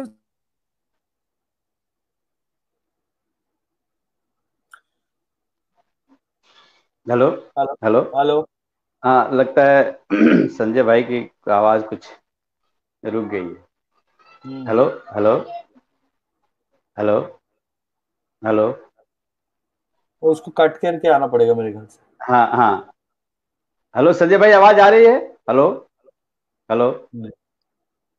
नेटवर्क की बड़ी प्रॉब्लम। Hello hello. वो, मोबाइल पे होगा मेरे ख्याल से इसलिए। हाँ हाँ हाँ हाँ। हेलो। हेलो। आप एक बार कट कर दो वापस आ जाएँगे मेरे ख्याल से। हाँ मैं कट करता हाँ। संजय का कट कर देना हाँ। हाँ कर दिया। हाँ, हाँ तो, तो कुछ हाँ, बता हाँ तो हम लोग बात हाँ, करते हैं। जी जी बताइए महेश भाई हाँ। तो उसमें ना बहुत लोगों ने पिक्चर देखी है बहुत अंडर क्या बता बहुत ही अंडर परफॉर्म मतलब क्या बोलते हैं वो नोट उसने बहुत नीचे का लिया हुआ था। जी। सो so, मैंने क्या किया मैंने उसमें एक सीन लिखा। मैं खुद बहुत इम्प्रेस हो गया था उस परफॉर्मेंस से आगे। जी। तो मैं खुद परफॉर्मेंस में इतना ज़्यादा इम्प्रेस हो गया था संजय के ना कि मैंने एक सीन लिखा। हेलो मैंने एक सीन लिखा। जी। संजय आवाज़ आ रही है? हाँ हाँ। हाँ। हेलो तो आ रही है। एक सीन संजय भाई आवाज़ आ रही है? हाँ जी। तो फिर मैंने वो एक सीन लिखा। मैंने मतलब इतना इंप्रेस होता चला गया मैं इसके परफॉर्मेंस से ना कि मैंने एक सीन लिखा। वो सीन ना भारी पड़ गया पिक्चर के ऊपर। बिकॉज़ उस सीन में इस आदमी को मैंने इतना जस्टिफाई कर दिया। हाँ। विलन को कभी इतना कोई जस्टिफाई नहीं करता है। मैंने विजन को बहुत हमारे साथ राजकुमार आर पांडे जी भी जुड़े हैं। स्वागत है सर आपका। अरे। संजय को बोलो सही से आवाज़ आ जाएगी। ठीक है तो वो मैंने जो लिखा वो मेरे ख्याल से बहुत ज़्यादा वो हो गया क्या बोलते हैं वो बहुत ज़्यादा मोहब्बत में आदमी लिख देता है ना सीन कि इतना अच्छा कैरेक्टर बन गया। सडनली मैं हीरो हीरोइन को थोड़ा पीछे छोड़ दिया था और बल्ली ठाकुर को थोड़ा आगे ले लिया था मैंने तो that was a thing you know जिसकी वजह से शायद वो रानी इतनी बड़ी हिट नहीं हो पाई पिक्चर या मैं तो बोलता हूँ चली भी नहीं थी पिक्चर बिकॉज़ बहुत ज़्यादा फैमिली और बहुत ज़्यादा वो मैंने म्यूज़िक से लेकर हर चीज़ में थोड़ा एक्सपेरिमेंट मैंने कम बैकग्राउंड म्यूज़िक डाला ताकि थोड़ा से साउंड पे खेले। तो एक्सपेरिमेंट्स थे वो वो कंप्लीट वो लव स्टोरी बनाने गए थे तो वो कंप्लीट ही एक्सपेरिमेंट एक्सपेरिमेंटल सिनेमा हो गया मेरे लिए। हाँ, लेकिन लेकिन हु एवर वॉच्ड इट मतलब जिसने भी देखा उसने हमेशा यही तारीफ़ की कि Rani is a good film Rani Chali Sasural is a good film good family film and तो संजय के लिए यार यही बात है यार संजय मेरे लिए बहुत मैटर करता है लाइफ के अंदर ठीक है ना? जी जी और इसलिए भी मैटर करता है क्योंकि अब तो हम लोग खैर इतने साल से आ, साथ में इसकी बेटी का नाम तक मैंने चूज़ किया था। तो आप इसे सभी ये कर सकते हो दैट कि किस लेवल का रिश्ता है। और एक बहुत फनी बात बोलता हूँ फिर मैं एग्जिट लेता हूँ मैं अपना काम करूँगा देन आके आप लोग कंटिन्यू कर सकते हैं। जी, so, जी, जी. संजय और मेरी जब दोस्ती हुई ना तो संजय शादीशुदा थे। ठीक है? अच्छा और मेरी शादी नहीं हुई थी ठीक है? तो मेरा एवरी सेकेंड डे और थर्ड डे ना प्लान बनता था चलो बैठते कहीं पे। आई वो चौबीस साल के था और हमारा ग्रुप बन गया था वही पहली पिक्चर के बाद। जी हाँ. जी। हमारा पहली पिक्चर का तो ग्रुप बन गया था मेरा मैं संजय राजेश त्रिपाठी संदीप शिखर मेरे बड़े भैया मुकेश भैया ठीक है? हाँ और शेट्टी तो हम लोग छह सात लोग का एक ग्रुप था।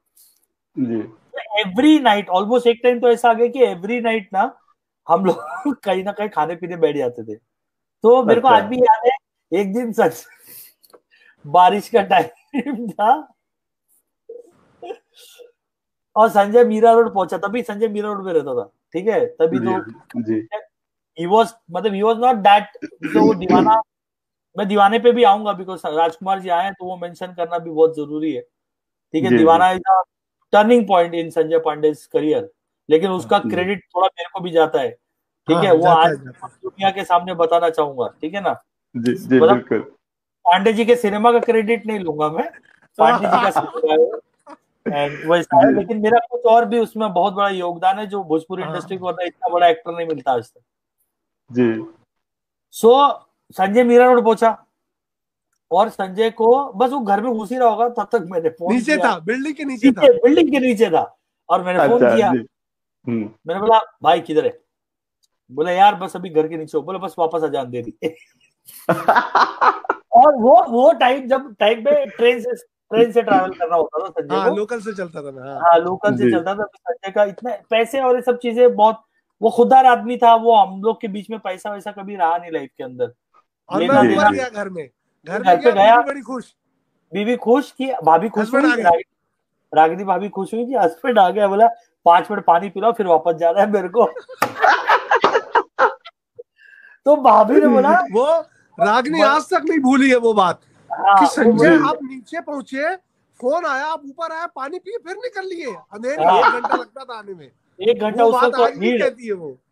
तो वो भाभी हमेशा बुला लेती मतलब मैं बुला लेता था तो भाभी भी वही बोलती थी कौन से सौतन आ गई ज़िंदगी के अंदर? मेरे लिए तो वही होता सौतन। कट टू भाई मेरी शादी हुई। हाँ कट शादी हुई। अब संजय पांडे एक दिन मेरे को मज़े लेने के लिए फ़ोन किया मेरे को।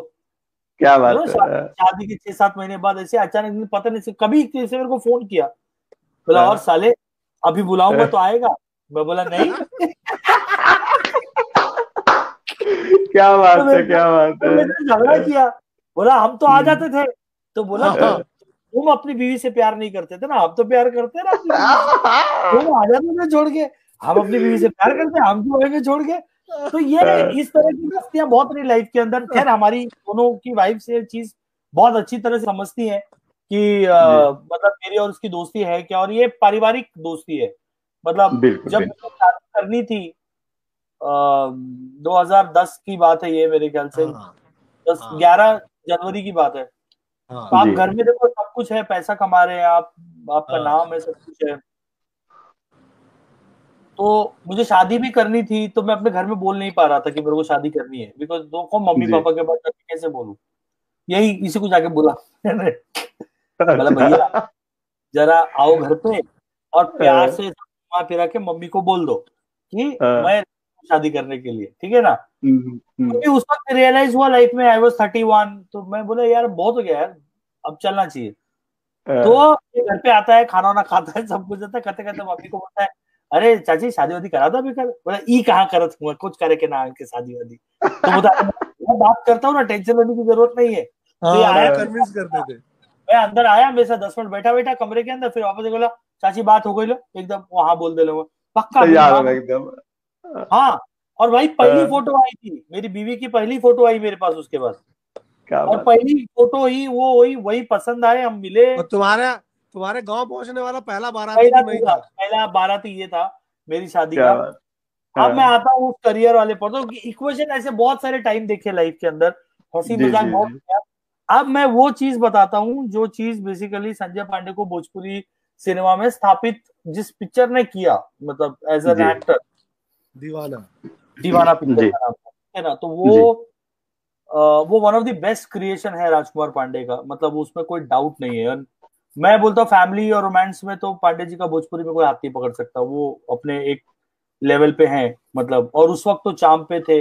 और उस वक्त का सिनेमा का एक ब्यूटी भी था विजय की यू नो मैं एक अपने अलग तरह की मैं अपनी एक अलग तरह की आड़ी तड़ी पिक्चरें बनाता था। ठीक है ना? राजकुमार जी अपना फैमिली और रोमांस थाम के बैठे थे। बेचारे हमारे असलम भाई रहे नहीं लेकिन असलम भाई का एक वो सोशल मुद्दा वाला फ़िल्म असलम भाई की बनती थी। फिर मुन्ना भाई है मुन्ना भाई की पिक्चरें होती थी एक्शन एकदम पूरा ड्रामा उस तरह की मुन्ना भाई की फ़िल्में होती थी। तो 2005 6 7 8 जब हम पिक्चरें कर रहे थे ना उस समय ना एक चीज़ अच्छी थी भोजपुरी सिनेमा की कि उसमें ना वेराइटी ऑफ़ सिनेमा बहुत था। आप समझ रहे उसमें वेराइटी ऑफ़ सिनेमा बहुत था। अभी एक धर्रे की पिक्चर बन रही है भाई एक सीन एक गाना एक सीन एक गाना बनता है। तो वो होल्ड भी नहीं करते अब वो तीन चार अच्छी वो पिक्चरें बन जाती है तो बन जाती है। Coming back to this phone आ जाता है तो मेरा साउंड क्यों चला जाता है? सर उसको ना आप म्यूट कर दो संजय भाई। साइलेंट पे डाल दो। साइलेंट आप साइलेंट पे डाल दो उसको फ़ोन को। किसी का फ़ोन आता तो साउंड चला जाता है एक मिनट हाँ साइलेंट कर दो आप साइलेंट पे कर दो। जी जी सर हाँ। तो 2000 2000 जब भी ये बात हुई 2008 या 9 की बात होगी। जी। आठ या नौ की भी नहीं पहले की बात है मेरे ख्याल से। तो संजय एक दिन आया संजय का एक दिन मेरे को फ़ोन आया। अच्छा। ठीक है? और संजय उस वक्त ना कहानी घर घर की और हाँ। सब सीरियल्स में संजय तू सब तूने करम अपना अपना खत्म हुआ था ना तेरा रोल? करम अपना चल रहा चल रहा चल रहा करम अपना अपना चल रहा था और बहुत इंपॉर्टेंट रोल कर रहा था संजय करम अपना बालाजी का शो तो इसने मेरे को कॉल किया। तो बोला यार राजकुमार पांडे जी का फ़ोन आया था और वो नहीं, मैं हाँ। मैं चांदीवली में था। राज जी ने बुलाया था मुझे वहाँ और राज जी शूट कर रहे थे भैया की ससुराली का पैच वर्क और मैं चांदीवली के अच्छा। कमालिस्तान सॉरी कमालिस्तान। कमालिस्तान में था राज़ी ने बोला था संजय मेरा तुमसे प्यार है और इस रोल के पीछे बहुत लोग हैं लेकिन मैं चाहता हूँ तुम करो इस रोल को। मैंने कहा पंडित जी पैसा सब मिलता नहीं बहुत प्रॉब्लम होती है। फिर वो शॉट लेने लगे मैं गार्डन में आया। गार्डन में आके मैंने तेरे को कॉल किया। तो इसने मेरे को फ़ोन किया और इसने मेरे को बोला यार राजकुमार पांडे जी ने मेरे को पिक्चर ऑफ़र करी है और यार मेरे को ना करना नहीं यार पैसे से मिलते नहीं यार उसमें अपना एक टीवी बराबर चल रहा है। तो मैं बोला ये तो पता हीरो कौन है? ठीक है तो बोले दिनेश लाल यादव मैं देख यार तू कब तक मार खाता रहेगा नए छुट गए छुट गई लोगों से स्क्रीन के ऊपर? मेरा वो ऐसा मैंने बोला यार पांडे जी। पांडे जी मेन बना रहे दिनेश के सामने और दिनेश सुपरस्टार है यार। तो एक बार सुपरस्टार का मुक्का खाएगा ना तो पब्लिक भी याद रखेगा किसने मारा था किसको मारा था। हाँ यही बोला कि तू सुपरस्टार के सामने खड़ा कर रहे तेरे को। तो वो पांडे जी का बहुत बड़ी बात है कि पांडे जी मतलब तू कोई बड़ा नाम है नहीं संजय और तेरे को एज अ विलन उस समय वो वो आ चुके थे क्या नाम से अपना राजकुमार जी हम लोग को देख भी रहे हैं। हाँ, और हाँ कर हाँ हाँ हाँ। यही लाइन बोली थी महेश ने कि संजय तू राजकुमार जी तेरे को सुपरस्टार के सामने खड़ा कर रहे हैं बे तू दिनेश लाल यादव को मुक्का मारेगा। हाँ। उससे मुक्का खाएगा तू। तो बोला जो सुपरस्टार देख दिनेश जब तेरे को मारेगा ना तेरे को कोई याद नहीं रखेगा। जब दिनेश को तू मारेगा ना तेरे को सब याद रखेगा। तो बोला वो है उस फ़िल्म में उस फ़िल्म में मैंने ही मारा है दिनेश जी ने मुझे मारा ही। नहीं। दिनेश ने मारा ही नहीं उसके अंदर।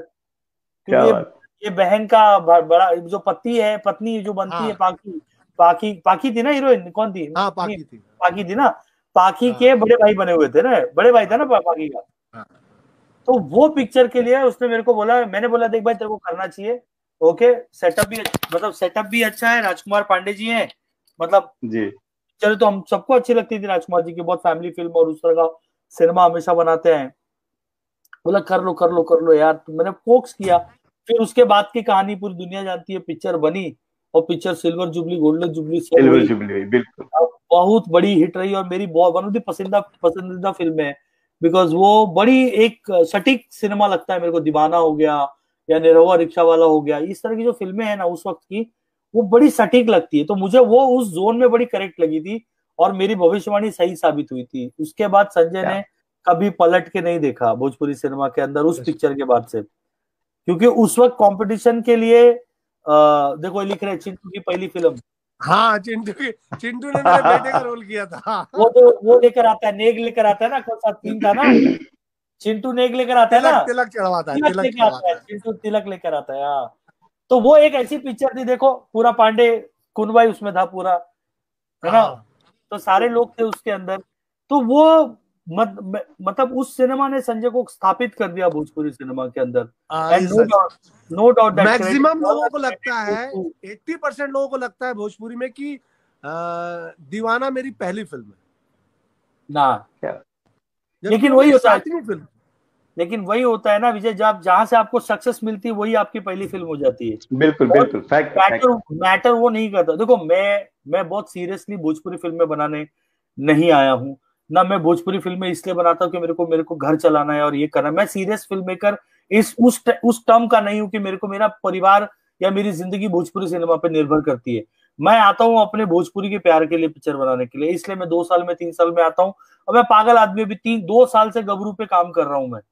मेरे को शेर ही नहीं समझ में आ रहा है, तब तक तो लोग बोल रहे पागल हो चुका है ये। मैं बोला, ऐसा शेर डालूँगा तो पता चला, वो बोलेंगे, यार कुकुर काय को बना दिया वो करना नहीं मुझे मालूम है ना जिस दिन वो आएगा सिनेमा अपने आप में अद्भुत सिनेमा होगा। तो मैं? अपने पैशन मैं अपनी मातृभाषा के प्यार के लिए भोजपुरी सिनेमा के साथ जुड़ा हूँ। और मेरे अपने कुछ आठ छह सात लोग हैं। राजकुमार जी हो गए दिनेश हो गए और भी लोग हैं। दुर्गा दादा हो गए। मतलब ये लोग जो हैं यार ये मेरे अपने लोग हैं जिनके साथ मेरा अगर मन भी करता है बातचीत करने का तो हम बात कर लेते हैं। उसके अलावा यार आज की ब्रीड तो सचमुच समझ में आता है तो आज तो कोई भी आता तो सुपरस्टार होता है यार। मैंने कल परसों एक पेपर में नाम पढ़ा कोई सुपरस्टार था नाम तो नहीं बोलूँगा उसको बुरा लग जाएगा। पर मैंने उसका नाम ही नहीं सुना भाई उसके आगे जोड़ दिया सुपरस्टार क्या तो बात है क्या बात है। सुपरस्टार तो यहाँ पहले जुड़ना है। ये पहली वाहिद ऐसी इंडस्ट्री है विजय जहाँ पर 90 परसेंट पिक्चरें फ्लॉप है।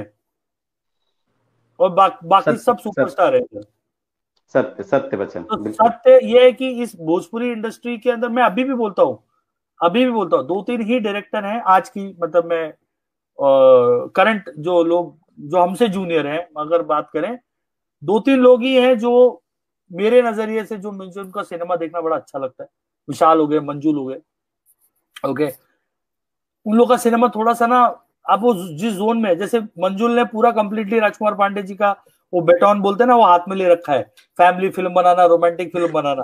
वो उसी जोन में ही है ठीक है ना? हाँ। विशाल जो है वो थोड़ा सा क्रांतिकारी सिनेमा बनाने के चक्कर में हमेशा रहता है। लाइक विशाल का पैटर्न और उस दिन हम मंजुल के भी सिनेमा हम लोग उस दिन साथ में बैठ के दो दिन पहले अभी देख रहे थे। घूंघट में घोटाला देख रहे थे हम लोग एक संजय का सीन देख रहे थे बैठ के। सो so, मैं वही बोला शूट तो अच्छा ही करता है यार देखो जो सेंसिबिलिटी चाहिए उसके हिसाब से करता है। तो ओवरऑल जर्नी भोजपुरी के अंदर बड़ी इंटरेस्टिंग रही भोजपुरी की वजह से मेरे को संजय पांडे मिला। मैं अगर भोजपुरी में नहीं आता तो कभी संजय पांडे से मुलाकात नहीं हो पाती है ना दोस्ती होती कभी लाइफ के अंदर। नहीं नहीं तो बहुत टफ टाइम भी देखे हैं साथ में देखे हैं टफ टाइम हमने। और बहुत अच्छे टाइम भी देखे हैं और उम्मीद करते हैं अब संजय मेरा नया सीरियल आ रहा है स्टार भारत पे। गुप्ता ब्रदर्स करके एक शो आ रहा है मेरा। Star Bharat October first week से आ रहा है तो उसमें Sanjay Pandey is doing again main villain in the show और क्या बात, क्या बात? और मैं चाहता हूँ कि मैं मैं क्या होता है मैं इसको मिस करने लगता हूँ बहुत जल्दी। ये मेरा प्रॉब्लम है इसके साथ ओके जी। तो क्या हमको हमारी मेरे को कॉन्वर्सेशन बड़ी अच्छी लगती है। हम लोग जो बातें करते हैं ना तो कोई भी हमको पागल समझेगा कि हम लोग जिस लेवल पे जाते हैं बात करने के लिए ना तो कोई भी हमको पागल समझेगा विजय की यू नो ये क्या बातें कर रहे हैं लोग? अच्छा? ये लोग माचिस के डिब्बे पे इतना लंबा कॉन्वर्सेशन कैसे कर सकते हैं लोग? मतलब एग्ज़ाम्पल बता रहा हूँ कि हमारा कॉन्वर्सेशन जिस जिस लेवल पे होता है और बहुत ही फ्रूटफुल होता है। हम किसी को नीचे नहीं दिखाते। अपनी कॉन्वर्सेशन में ना मैं कभी किसी को नीचे करता हूँ और बैक बीटिंग बैक बाइटिंग और ये सब करना क्या बोलते हैं बिचिंग करना ये हाँ। करना वो करना जी जी जी। हम लोग दोनों को बहुत पसंद है। हम खुल के हम लोग खुल के करते हैं। ठीक है ना? पर ये है कि जो अच्छा काम कर रहे हैं या जो अच्छा काम करना चाहते हैं हम उसकी तारीफ़ भी करते हैं ठीक है? संजय की वजह से बहुत सारी चीज़ें पता रहती है मुझे भोजपुर इंडस्ट्री में वो क्या रहा है। सो अभी गबरू का जैसे काम खत्म हो जाएगा होपफुली थोड़े जनवरी के आसपास खत्म हो जाएगा। जी। वो फाइनली पिक्चर मतलब रेडी हो जाएगी। मैं इसलिए डेट भी अनाउंस नहीं कर रहा हूँ पिक्चर का क्योंकि फिर वो डेट एक बार ऊपर नीचे होती है तो फिर वो हो जाता है कि मैं अब मेरे को ऐसा लगता है कि फाइनली जनवरी तक पिक्चर हम कंप्लीट करने में कामयाब हो जाएँगे। क्योंकि शेर जो है वो पिक्चर के अंदर यार ऑलमोस्ट आधा घंटा शेर है और शेर जो है वो कैरेक्टर है। इट्स नॉट दैट कि वो कोई एक आया हाँ क्या चला गया ऐसा नहीं है। वो प्रॉपर पिक्चर में उसका नाम ही गबरू है वही गबरू है। लोगों को गलत फहमी हो रही है कि दिनेश का नाम गबरू है लेकिन वो दिनेश का नाम गबरू नहीं है शेर का नाम गबरू है पिक्चर के अंदर। तो तो संजय की वजह से भोजपुरी की बहुत सारी बातें पता होती है कहाँ पे क्या घट रहा है कौन सुपरस्टार है आज के टाइम पे और कौन नहीं है ठीक है? और आ, आ, आ, मुझे बहुत प्राउड फील होता है जो बंदा आ, एक टाइम पे आ, जिसकी जेब में मैंने देखा है मतलब दो हज़ार तीन हज़ार रुपए तक नहीं होते थे जिसकी जेब में। है ना और कभी मांगा नहीं पैसे, कुछ नहीं, हमारे बीच में वो कभी रहा नहीं। और मतलब वैसा वाला स्थिति, देखो दो दोस्तों के बीच में क्या कॉन्वर्सेशन है, पैसों को लेकर, इसको लेकर।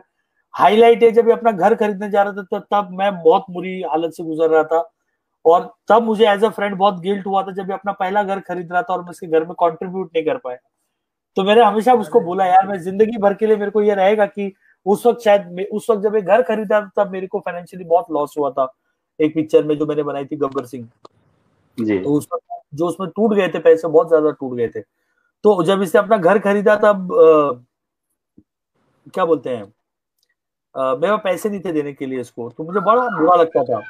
लेकिन आज इस बात की खुशी भी होती विजय जब कोई भी बिहार यूपी से कोई भी प्रोड्यूसर निकलता है पिक्चर बनाने के लिए कि वो आता है वो जैसे भी आता है भाई ज़मीन जायदाद बेच के आता है जो भी करने आता है जब सिनेमा बनाने आता है वो उसकी चिट्ठी पे लिखा होता है संजय पांडे यू नो तो यार ये बहुत बड़ी हाँ, बात है यार। I am very proud of that thing you know कि यही तो यही तो बातें करते थे हम लोग बैठ के जब शराब का दौर चलता था और हम बैठते थे। और यही बात होती थी कि भाई एक दिन तो एक दिन आएगा लाइफ में और भाई ये हो जाएगा भाई वो हो जाएगा और वो हो रहा है आज के टाइम पे यू नो डेटे मेरे मैं विद्या के टाइम पे तो भाई कहाँ से जाता था? पिक्चर करके आ जाता था फटाफट। पता ही नहीं चलता था। इसका बस चले तो ये तीसों दिन शूटिंग करे। इसका बस जैसे बोलते ना इसका बस चले ना तो ये चाँद की ज़मीन चाँद की ज़मीन भी बेच दे। इसका बस चले तो। मतलब ये इसका बस चले ना भाई तो ये ना इसका बस अगर चले ना तो ये ना भगवान से बोल के ना चौबीस घंटे का छब्बीस घंटा करवा दे। कि बाबा थोड़ा दो घंटा एक्स्ट्रा कर दो एक पिक्चर करके आ जाऊँगा।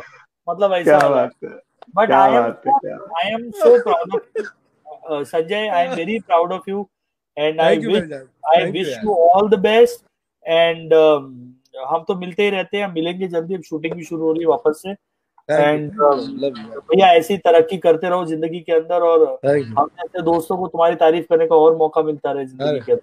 लव यू लव यू मेरी जान ये और विजय तुमसे भी यार बड़े सालों बाद बात करके बड़ा मज़ा आया यार। जी जी थैंक यू थैंक यू भैया तो बहुत तो कम, ही बात की हम ही बात कर रहे थे लेकिन लेकिन अच्छा बहुत जल्दी मिलते हैं यार। ठीक है ना? मिलते मिलते मिलते thank you thank you sir आप आए बहुत अच्छा लगा। Thank you so much thank you okay Lali bye bye bye thank thank thank वाकई में मैं सर हमारे आजमगढ़ के शान भी हैं और इंडस्ट्री के भी शान हाँ। और बड़ी अच्छी बातें हुई इतनी मतलब पुरानी यादें ताज़ा हो गई। और एक दोस्त हो तो ऐसा। बिल्कुल बिल्कुल कुछ ऐसा बनावटी नहीं कुछ ऐसा छुपा के नहीं कुछ वैसा। बिल्कुल। दोस्तों मैं आप लोगों का कमेंट्स नहीं पढ़ पा रहा हूँ क्योंकि बहुत अच्छी बातें हो रही हैं। और मैं जब हमारा प्रोग्राम खत्म होगा तो हम संजय जी से रिक्वेस्ट करेंगे कि और हम दोनों लोग कोशिश करेंगे कि आप लोगों का जवाब दे पाए। संजय भाई हम नेक्स्ट प्रश्न पे आते हैं हाँ। कि आपने साढ़े तीन सौ फ़िल्मों में एज ए खलनायक काम और। आपने एक हिस्ट्री बनाई। तो जब आप करेक्टर और आप, मैंने ये भी सुना है और देखा भी है कि आप हर करेक्टर पे बहुत वर्क करते हैं कि आपने एक फ़िल्म में विलन का ये रोल किया तो दूसरी में ये रोल किया। तो वो जर्नी कुछ बताइए और कैसे आप उसको क्रिएट करते हैं कि नहीं यार, इस फ़िल्म में मैं कुछ अलग करूँगा और आप, चाहे वो भाषा से हुआ, चाहे तकिया कलाम भी जोड़ते हैं। बहुत मेहनत करते हैं। कुछ उसके बारे में मेरे दर्शकों को बताइए। मैं, पहली बात तो मैंने बोला कि जब डायरेक्टर कहानी कहानी तो नहीं जब मेरा किरदार मुझे या कहानी सुनाते हैं तो उस वक्त एक दिमाग में बसता जाता है कि अच्छा ये किरदार ऐसा होगा ये किरदार वैसा होगा। एक रफ आइडिया आपके दिमाग में आता है। हालाँकि मैं सच कहूँ तो हर किरदार के साथ न्याय नहीं कर पाता हूँ। जी। जहाँ क्वांटिटी ज़्यादा हो वहाँ क्वालिटी थोड़ा सा मार खाती है। जी जी। और और, और बहुत कुछ डिपेंड करता है डायरेक्टर के ऊपर। बिल्कुल डायरेक्टर कौन है और वो मुझसे क्या उम्मीद रखता है या क्या चाहता है? जैसे होता है कुछ डायरेक्टर है जिनके साथ मैं बहुत सवाल नहीं करता। वहाँ मैं सुनता हूँ जैसे राज जी है। राज जी के साथ आ, इनका विलन हमेशा हैंडसम होगा। इन्होंने मुझे कभी भी गंदा विलन नहीं बनाया। इन्होंने मंजुल है। मंजुल मुझे कभी हैंडसम बनाएगा ही नहीं। मंजुल ठाकुर को लेके मेरे घर में बहुत मेरी वाइफ चिल्लाती है कि आपको इतना अच्छे इंसान को ऐसा गंदा क्यों बनाते हैं मंजुल ठाकुर? लेकिन राजकुमार जी हमेशा कहते हैं कि मेरा विलन खूबसूरत होगा। क्या बात? महेश पांडे का विलन अलग होता है। संतोष मिश्रा जी का विलन अलग होता है। ये जो मेरे डायरेक्टर्स हैं इन सब के विलन की अपनी एक पहचान है। तो जब मैं महेश की फ़िल्म कर रहा होता हूँ मेंटली सेट होता है। मंजुल की फ़िल्म सेट कर, जब कर रहा होता तो मुझे मालूम होता है कि दांत कुछ गड़बड़ करेगा ये आँख गड़बड़ होगी या तो कुछ करेगा। ये बहुत बहुत उसका मेरे सारे रूप की ये ऐसी की तैसी करने वाला है डायरेक्टर जब मैं राज्य की फ़िल्म करता हूँ तो मुझे मालूम होता है कि वो लुक के साथ बहुत छेड़छाड़ नहीं। वो बोलते मेरा विलन हैंडसम होना चाहिए। वो आए पर्दे में तो खूबसूरत लगे। क्या तो उनकी फ़िल्म में मैं मतलब मेरी आप अगर बिगनिंग की फ़िल्में देखें मैंने राज्य के साथ बीच में गैप हुआ।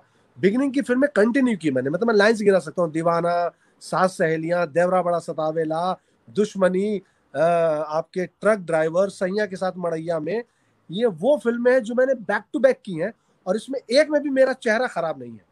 सब में एक हैंडसम विलन नज़र आता है सामने से। तो कहानी के किरदार और बहुत सारी चीज़ें मैं डायरेक्टर पे डिपेंड करता है कि डायरेक्टर आपको कैसे नरेट कर रहा है वो क्या चाहता है।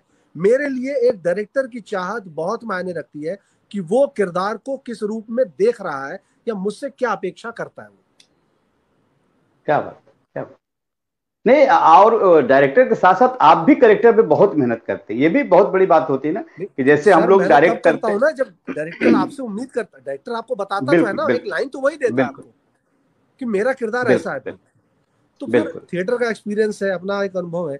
तो मैं एक लाइन खींचता हूँ कि हाँ यार थोड़ा सा इसमें ये एक एक्सपेरिमेंट करके देखा जाए। देखिए हर बार विजय बाबू एक्सपेरिमेंट ही होता है।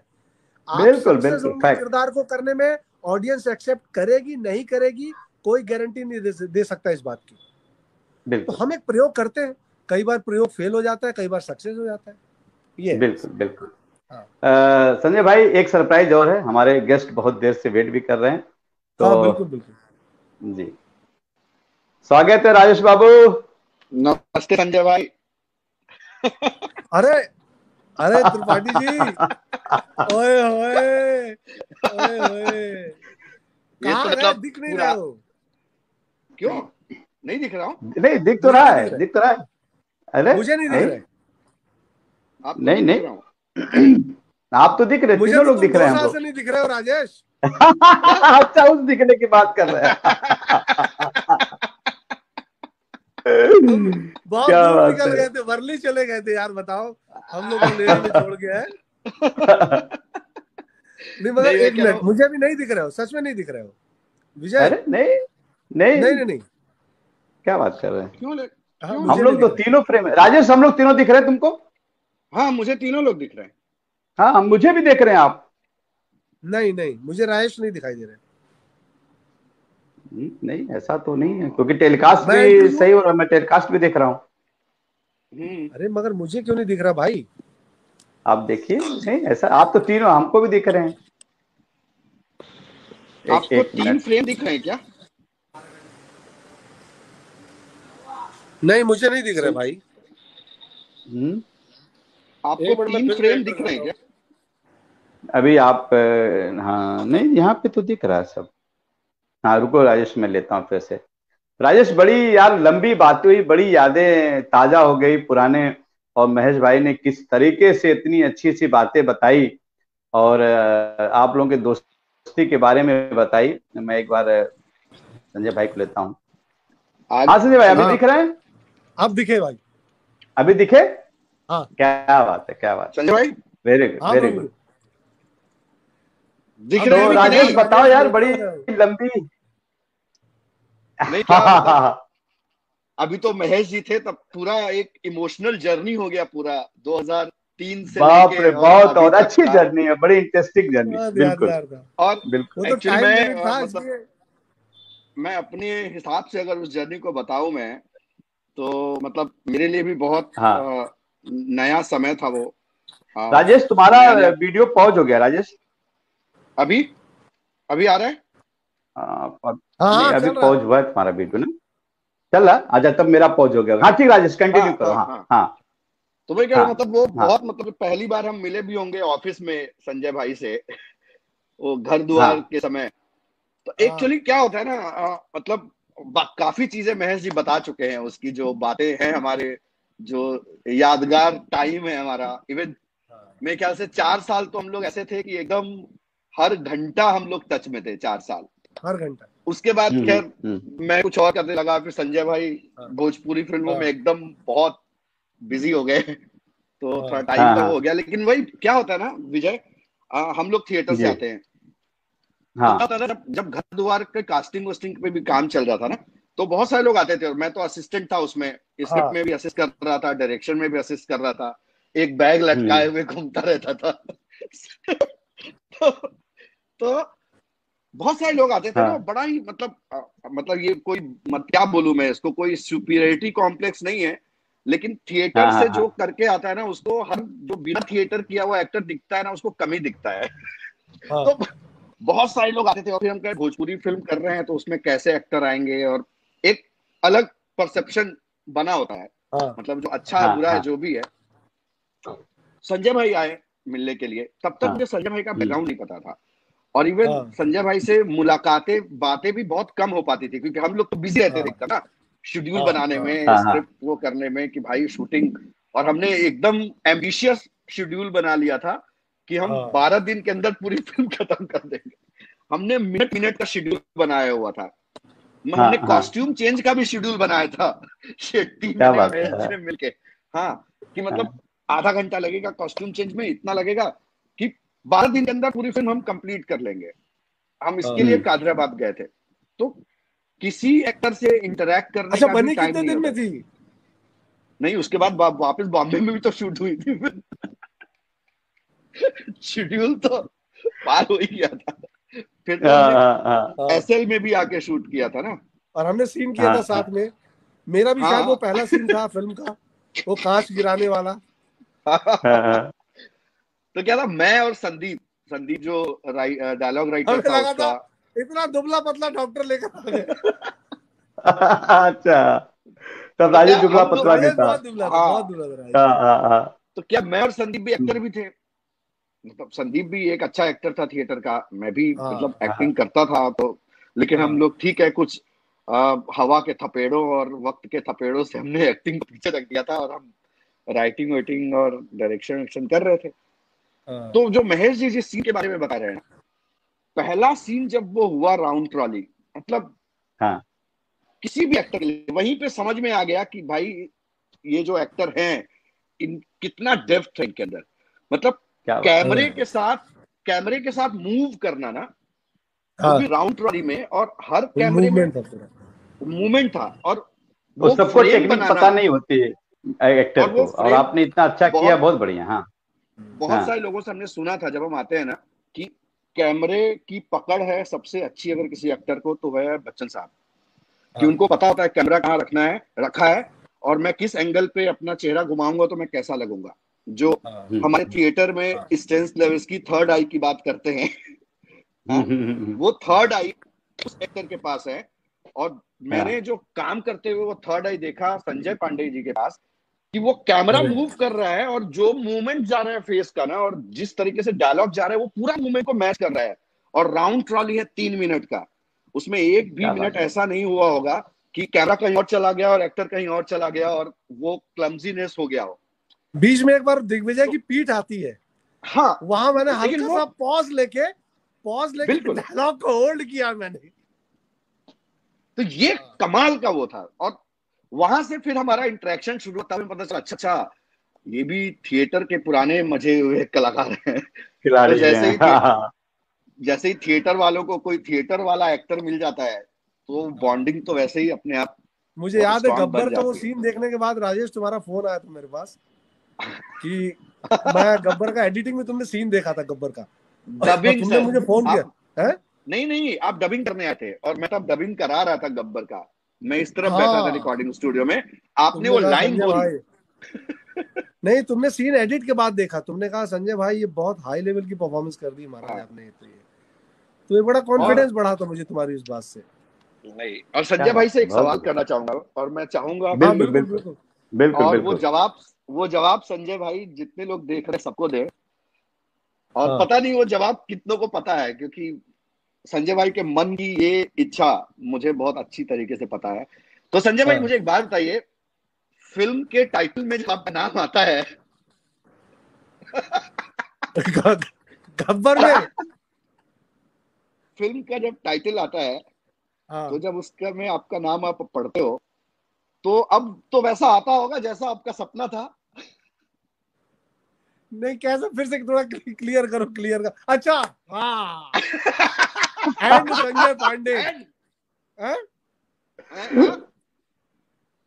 तो और वो तो कई बार तो कई बार मुझे टोकना पड़ता है कि मेरा नाम एंड संजय पांडे ही आना चाहिए।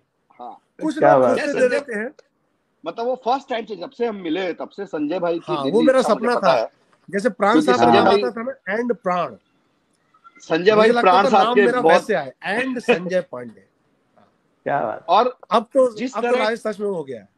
हाँ तो वो अचीव किया है संजय भाई ने कि वो जो मतलब उस समय 2003 2004 में जो एक उत्था हाँ। थी कि प्राण साहब की तरह नाम आना चाहिए एंड प्राण हाँ। ताकि जो फ़िल्म में विलेन जो हो ना विलेन केवल मार्केट मचाने के लिए और जगह भरने के लिए विलेन ना हो। विलेन हो जिसका एक स्ट्रॉन्ग कैरेक्टर हो पूरी फ़िल्म में। हाँ। और जो फ़िल्म की कहानी को आगे बढ़ाए न कि केवल हीरोइन को किडनैप करने के लिए या बाद में गन चलाने के लिए। क्या वो?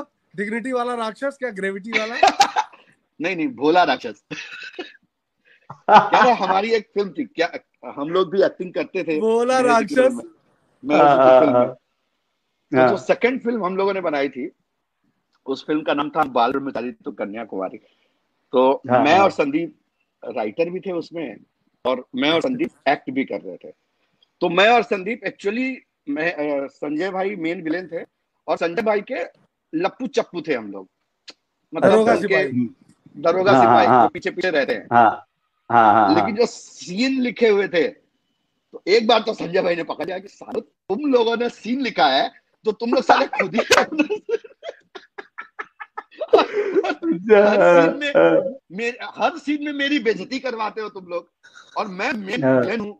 और मेरी बेजती लिखते हो तुम लोग हर सीन में। और बाजी तुम लोग मार जाते हो। साला ये ये ये कैसा विलेन है? मैं महेश से लड़ूँगा इस बारे हमने कहा देखिए ये लोग क्या ये दोनों मुझे कन्विंस करते थे। सोचो कितने प्यार से बेवकूफ़ बनाते थे ये दोनों। हमने कहा संजय भाई क्या है? ये जो विलेन है ग्रेविटी है इस विलेन और ये विलेन भोला राक्षस है। अच्छा। जिसको लोग बेवकूफ़ भी बनाते हैं। ये भोला है लेकिन राक्षस है। दिल का भोला क्या बात अरे यार ये लोग मुझे ऐसे उल्लू बनाते थे। भाई संजय भाई ग्रेविटी ग्रेविटी बोला काय की घंटे की ग्रेविटी कहीं भी पिट रहा तुम्हारा विलन कोई भी आके इसको मार के चला जा रहा काय की ग्रेविटी में? तुम लोग लिखते हो कैसे समझ नहीं रहे संजय भाई ये भोला हाँ। राक्षस है। मैंने कहा राक्षस भोला कैसे हो सकता है? हाँ। ना वो भोला राक्षस है ये कैरेक्टर था ना लेकिन अभी आपको जब महेश जी ने भी बताया तो सेकंड हाँ। फ़िल्म का वो कैरेक्टर ही था वो हाँ। कि एक बेवकूफ़ सा विलेन है जो लोगों के चक्कर में पड़ जाता है बाद में पिटता नहीं। तो वैसा विलेन था। क्या? अरे बारे हाँ वो तो है वो खैर सच में यार बड़ी यादगार बहुत हाँ मतलब उस समय का मतलब वो एक एक टाइम हमारे लिए बहुत यादगार था। सब लोगों के स्ट्रगल के टाइम थे। हाँ. और उसके बाद बहुत खुशी होती है जब भी हम घर पे कोई भी भोजपुरी फ़िल्म लगाते हैं और उसमें संजय भाई तो दिखने ही दिखते हैं। बिल्कुल बिल्कुल। बी, बीच में हम लोग का तो ऐसा मज़ाक भी हो गया था। कभी कभी हम बात करते थे कि आज मिलते हैं। तो हमने कहा हम तो मिल लेंगे लेकिन संजय भाई कहाँ शूट कर रहे होंगे? किसी को पता है क्या? क्योंकि वो वो लगातार मेरे ख्याल से वो चार पाँच साल बिल्कुल आप बाहर ही बाहर ज़्यादा ही थे। मतलब बॉम्बे में कब आते मतलब थे पता भी नहीं चलता था। एक बार लास्ट पैतालीस दिन बाद आया था घर में। ओह। और मतलब हम्म, हम्म। ऐसे आता था एक बार तो मुझे याद है कि मैं घर पहुँचा हूँ दिन में और मेरी बेटी बहुत खुश हुई पापा है पापा है और देख रही पापा फिर से पैकिंग कर रहे हैं। और मेरा उसी रात का टिकट था। पापा अब माना बेटा जाना पड़ेगा शूट है मेरा। सुबह आया शाम को निकल लिया। उस तरीके का दौर था। और काम करना था यार काम करने ही आए थे काम मिल रहा था तो काम को कैसे नकार सकते बिल्कुल बिल्कुल अच्छा एक बिल्कुल। एक सवाल और है संजय भाई। हम्म। संजय भाई एक सवाल और है मेरा। हाँ बोलो। हाँ पूछो पूछो हाँ। क्या होता है आदमी का एक सपना पूरा होता है तो फिर वो दूसरा बड़ा सपना देखना शुरू करता है। एंड प्राण वाला तो आपका सपना पूरा हो गया। हम्म। अगला सपना क्या है? वो मैं चाहता हूँ आप सबको बताएँ। अगला सपना क्या है आपके लिए? वो भी पूरा हो गया होगा देखिए। यार मुझे मुझे ऐसा लगता है कि मैं अब विलेन कर लिया मैंने।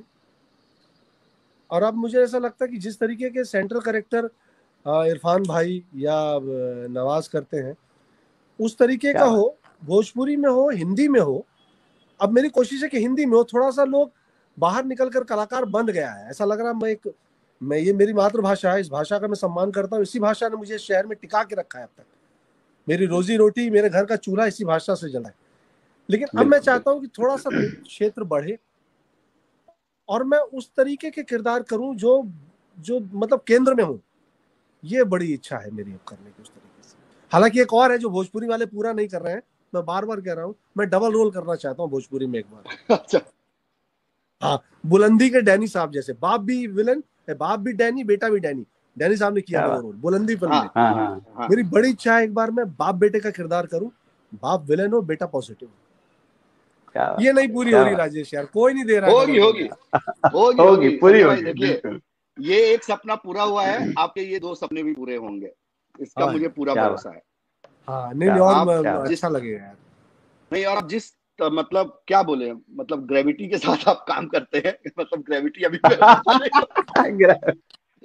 लेकिन आप जिस शिद्दत से आप काम करते हैं नहीं नहीं मतलब मज़ाक नहीं कर रहा हूँ आप जिस शिद्दत से अपना काम करते हैं ना बिल्कुल तो ये सपना जिस तरह पूरा हुआ है ये बाकी दोनों सपने और जो दूसरा सपना आपका जो बड़ा सपना है वो भी बहुत जल्दी पूरा होगा थैंक यू यही सो मच यही मेरा मेरी दुआ है और यही मैं चाहता हूँ thank you thank you thank you यार राजेश आए बहुत अच्छा लगा यार थैंक यू थैंक यू चलिए संजय भाई ओके बाबू बाय हैं जल्दी thank you bye bye bye bye thank you Rajesh thank you वाकई में राजेश भी बहुत मेहनत से यहाँ तक पहुँचा आज बहुत अच्छा नाम है राजेश का भी अरे भाई साहब बिल्कुल मेरे पसीने छूट जाते थे राजेश त्रिपाठी की मेहनत देख के।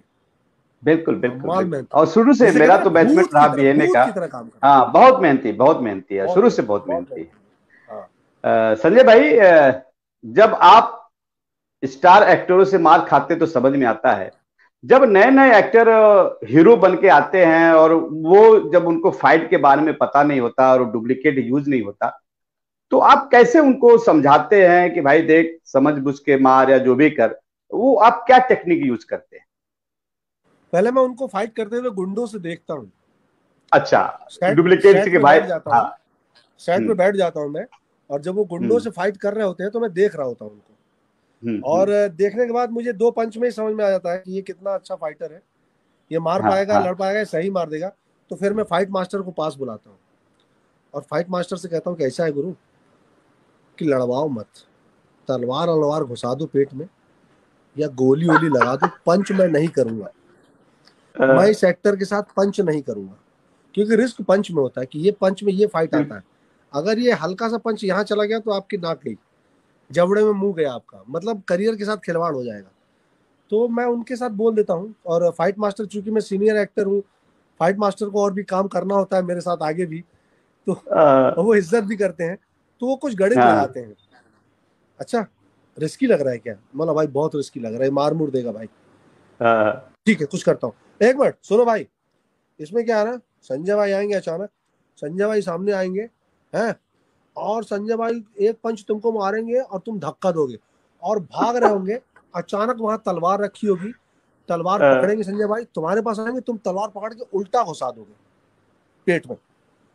ओके? तो ऐसे करके मैं सीन निकाल लेता हूँ। मैं आइडिया निकाल लेता हूँ। मैं सिर्फ़ चुपचाप क्लाइमैक्स के दिन बैठ के सिर्फ़ उस एक्टर को हीरो को लड़ते हुए देख रहा होता हूँ कि ये कितना खतरनाक है। अगर मुझे लगता है कि नहीं इज़ वेरी गुड फाइटर ये लड़ सकता है। तो बोलता हूँ लड़ेंगे फिर फिर लड़ता हूँ।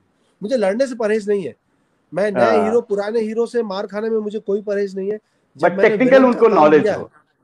फाइट का नॉलेज हो गुरु क्योंकि कई बार आपको चोट भी लग सकता है और लगा भी होगा आपको कई बार चोट।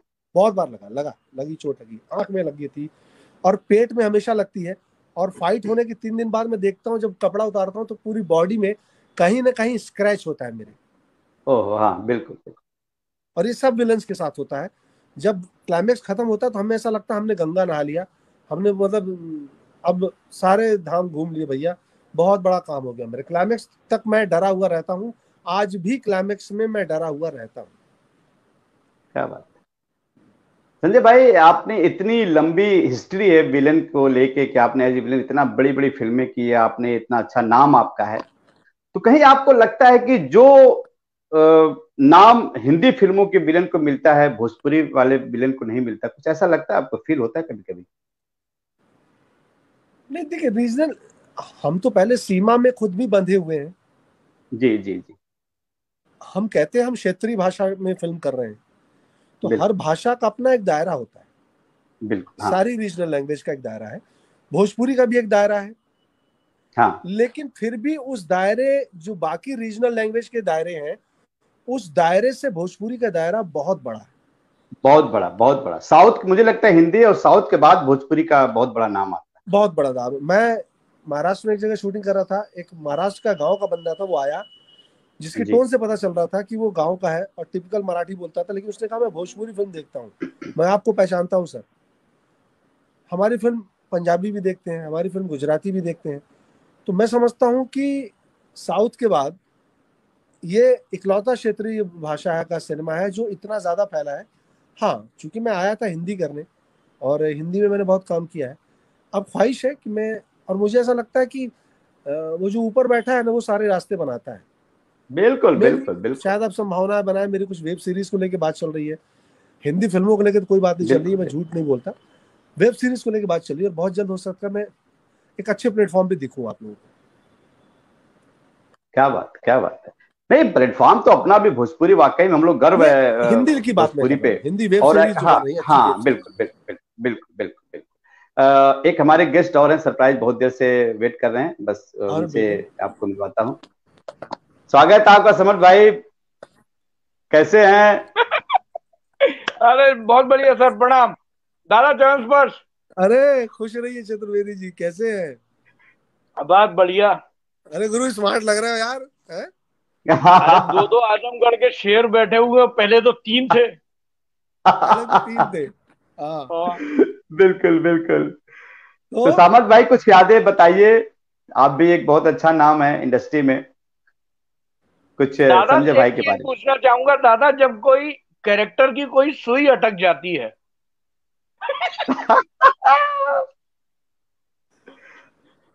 तो वो क्या राज है जो दिमाग में विजय सर मैं एक चीज़ बताऊँ एक एक चीज़ जो होती है हमेशा कि एक एक्टर और एक कैरेक्टर दोनों आपस में अगर जो बात करते हैं वो बात मैंने संजय भैया में देखी है।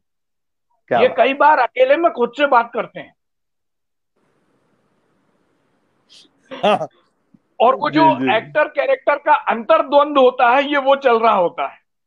और उसके बाद दादा के बॉय हैं हरी भैया उनको एक आवाज़ आती है चाय बना के लाओ। हाँ। और वहाँ पे कहीं सुई अटकी रहती है किसी चीज़ में कि ये जो सीन पिछला गया है शायद ये थोड़ा सा उन्नीस रह गया है और अगले वाले को बहुत अच्छा कर रहा है। क्या बात ये क्या बात, बात ये बात सिर्फ़ समर्थ तुमने पकड़ी बाकी डायरेक्टरों में किसी ने पकड़ी पर मुझसे किसी ने कहा नहीं आज तक बट हाँ। ये बात हाँ। सिर्फ़ समर्थ चतुर्वेदी ने पकड़ी है मेरा वो जो सेट के ऊपर का द्वंद चलता है लोगों को लगता है मैं मस्ती करता हूँ मैं तो फ्री रहता हूँ अचानक रिलैक्स रहता हूँ कब करेक्टर में घुस जाता हूँ कब क्या करता हूँ ऐसा नहीं है मैं बात कर रहा होता हूँ और बात करते करते सडनली मैं खुद से बात करने लगता हूँ ये भी इसने हाँ। बड़ी अच्छी चीज़ पकड़ी है जो बहुत कम लोग पकड़ पाते हैं कि मैं कब मेरे बीच में से एक्टर और करेक्टर के बीच में बात चलने लगती है सेट में ही बैठे बैठे। और ये भी सच है मुझे लगता है ये सीन में गड़बड़ कर दिया। मैं डायरेक्टर या किसी की तारीफ़ हो कोई करता तो मैं सुन लेता हूँ लेकिन मुझे कभी कभी लगता है कि नहीं यार आपने ईमानदारी रखो संजय पांडे आपने ये सीन गलत किया है। आपको अगला बैटर करना या ये सीन में ये डायलॉग चूक गया ये मोमेंट चूक गया है। और उस वक्त बात करते करते अचानक मैं देखता भी नहीं और मेरे मुँह से आवाज़ आती है हरी! मेरा बॉय का नाम है हरी। हरी को आवाज़ लगाता हूँ हरी समझ जाता है चाय चाहिए। हरी चाय हाँ। लेके आता है चाय लेता हूँ हाँ। और पी रहा होता हूँ और उतनी देर में जो उलझन है सुलझ जाती है देन ओके चले करते हैं। तो ये समर्थ ने समर्थ नहीं पकड़ा इस बात को बहुत मज़ाक उड़ाता है इस बात को लेके। दो तीन बार मैंने दो तीन बार मैंने टोका और मैंने डांट खाई है। अरे रुक गया तुम मैं बात कर रहा हूँ ना। अब मुझे लगता है किससे बात कर रहे हैं आप? यहाँ तो आप और मैं ही बैठे हुए पर वो जब ओठ बुदबुदाते हुए से दिख जाते हैं मुझे समझ में आता है हाँ अभी दादा कहीं लगे हुए हैं। वो घर पे भी जैसे मैं कुछ सोच रहा होता हूँ कुछ कर रहा होता हूँ ऐसा कहीं थॉट में होता हूँ तो मेरी बेटी ने पकड़ा है। वो मिमिक्री करती पापा गए किधर बात कर रहे हैं? पापा किससे बात कर रहे हैं? वो मेरी बेटी ने पकड़ा कि मेरे पापा बात करने लगते हैं बीच में ही। तो वो ऐसा होता है कि थॉट में जाता हूँ और कोई चीज़ उलझी होती है सोच रहा होता हूँ तो मेरे होठ बुदबुदाते हैं पता चलेगा। आप बहुत करीब से ऑब्ज़र्व करो तो आपको पता चल बंदा किसी से अंदर ही अंदर बात कर रहा है। वो ट्रांस में चले गए। ट्रांस में मैं बहुत जल्दी ट्रांस में जाता हूँ। आपसे बात करते करते मैं कब निकल लूँगा आपको पता नहीं चलेगा। आपको लगेगा मैं आपके सामने बैठा हूँ लेकिन मैं सामने नहीं होऊँगा आपके। मैं ट्रांस में जा चुका होता हूँ और मेरी मेरा द्वंद शुरू हो गया होता है। एज एन एक्टर एक्टर सारी चीज़ें उसमें रहती तो ये इज़ करेक्ट समर्थ ने बहुत अच्छी चीज़ ऑब्ज़र्व की है। और सबसे बढ़िया ये कि आप जो फाइट वाली बात कर रहे थे ना फाइट हाँ. वाली चीज़ तो हम लोग बहुत सारी चीज़ें क्योंकि नो डाउट हमारे लिए हम जिनके काम को एडमायर करते हैं हमारे लिए वही एक स्तंभ हो जाते हैं। संजय भैया हैं सुशील भैया हैं अवधेश भैया हैं तो यही हम लोगों के लिए स्तंभ है। और हम लोग मज़ाक मज़ाक में कहते भी हैं कि अगर हाँ. इन तीनों की किसी की परछाई निकल गई भले ही कितने बड़े विलन बन जाओ कुछ नहीं होगा तालियाँ इन्हीं लोग को मिलेंगी। क्या बात है। और बहुत बढ़िया। संजय भैया के साथ अगर जैसे राजा बाबू में मुझे अभी फाइट वाले जो आपने ज़िक्र किया उसमें दिनेश जी। के साथ एक ट्रैक्टर की फाइट है। अप्रैल का महीना और उत्तर प्रदेश में north forty six forty seven temperature और पाँच दिन वो फाइट चली है। हाँ। मतलब देख के लगता था मतलब दिनेश जी और संजय भैया दोनों को सलूट है। और हाँ। हमारे जो फाइट मास्टर थे कैमरा मैन थे मतलब पूरी टीम राजा बाबू ने उस वक्त ऐसी लगी थी क्योंकि उसके पहले माहौल बहुत अच्छा था वहाँ पे हाँ। बारिश वारिश हुई थी एंड देन सडनली जो गर्मी हुई थी जी हाँ। और राजा बाबू में सबके मिस कॉल आए थे बस दादा का मिस कॉल नहीं आया था मतलब सबको वहाँ पर बहुत पेट का प्रॉब्लम हुआ था मोशन का और सबको लूज मोशन और बहुत दिक्कत हुई थी। मतलब मुझे लगता है कि सबको हुआ था गर्मी का प्रॉब्लम था। सबको हुआ था। सबको पूरी यूनिट मतलब को हुआ था प्रॉब्लम हल्की सी भी अगर पेट में कहीं गुड़गुड़ाहट सी होती थी तो आदमी अलर्ट हो जाता था। भाई हाँ, बोतल का कोई शंख नहीं बजा पाता था। क्या बात क्या मैं बच गया मैं बच गया था। मैं बचा था। मोनालिसा जी बची थी उनका बॉय मेरा बॉय और प्रेम दुबे। पाँच लोग बच गए थे हाँ। पूरी यूनिट जी जी जी तो यादगार वो फ़िल्म ही अपने आप में बड़ी यादगार थी और समर्थ को तो मैं जानता हूँ भोपाल से ही। मतलब ये मैं नाइनटी सिक्स नाइन्टी सेवन जी जी। नाइन्टी सिक्स में हाँ बॉम्बे में देखा। और सबसे बढ़िया बात है विजय सर कि कहीं ना कहीं जब कुछ भी चीज़ों में बदलाव आया है तो उस बदलाव वाले चौराहे पर हमेशा कंधे पे हाथ रख के यही खड़े मिले मुझे। क्या मैं नाइनटी एट में एनएसडी का एग्ज़ाम देने आया था पहली बार हम्म। मेरा नहीं हुआ आधा घंटा इंटरव्यू हुआ पहली बार नहीं हुआ थोड़ा सा मायूस हो गया था तो कंधे पे हाथ रखा चल अगली साल देना क्या होता है? हम्म। ठीक है। नेहरू सेंटर में नेहरू सेंटर हाँ नेहरू सेंटर। नेक्स्ट ईयर फिर आए। फिर नहीं हुआ। तो बोले सुन जा थिएटर कर मन हो आ जाना नहीं तो ये तो रास्ता भूल जा। 2003 हाँ। में आया मैं आके भोजपुरी फ़िल्म में सुजीत जी की बलमा बड़ा नादान से लॉन्च होके वहाँ करने लगा। ये सुनता था कि संजय भैया सीरियल वगैरह कर रहे हैं। बालाजी में एक हाँ। सीरियल अच्छा हाँ। स्थापित नाम है। फिर मतलब इंडस्ट्री में सब ये जानते हैं कि मैं पिछले पाँच या सात साल से जानता हूँ। लेकिन जबकि हम आई थिंक शायद पच्चीस साल से जानते हैं एक दूसरे को। 96 बोला ना? 96 97 और संजय भैया हमेशा मुझे डांटते थे कि बस तीस त्योहार फ़ोन करते हो तुम बाकी और कोई फ़ोन नहीं करना तुम्हें। आपको चोट लगती है तो फ़ोन कर लेता हूँ आपकी तबीयत खराब होती है तो फ़ोन कर लेता हूँ। अब रोज रोज नहीं कर सकता। और अब ऐसा है कि रोज हमारी दिन में दो बार बात होती है जिसमें निंदा रस का पान होता है। गॉसिप के बिना तो मज़ा भी नहीं आता ना यार बातचीत का। बिल्कुल बिल्कुल जब तक थोड़ी गॉसिप ना हो जो निंदा रस में जो रस है वो रस किसी में नहीं है। और सबसे बढ़िया बात किसी को आहत करना नहीं होता है। और सबसे बढ़िया ये होता है कि हमारी निंदा में कोई आहत नहीं होता और हमें किसी तीसरे चौथे की ज़रूरत ही नहीं पड़ती।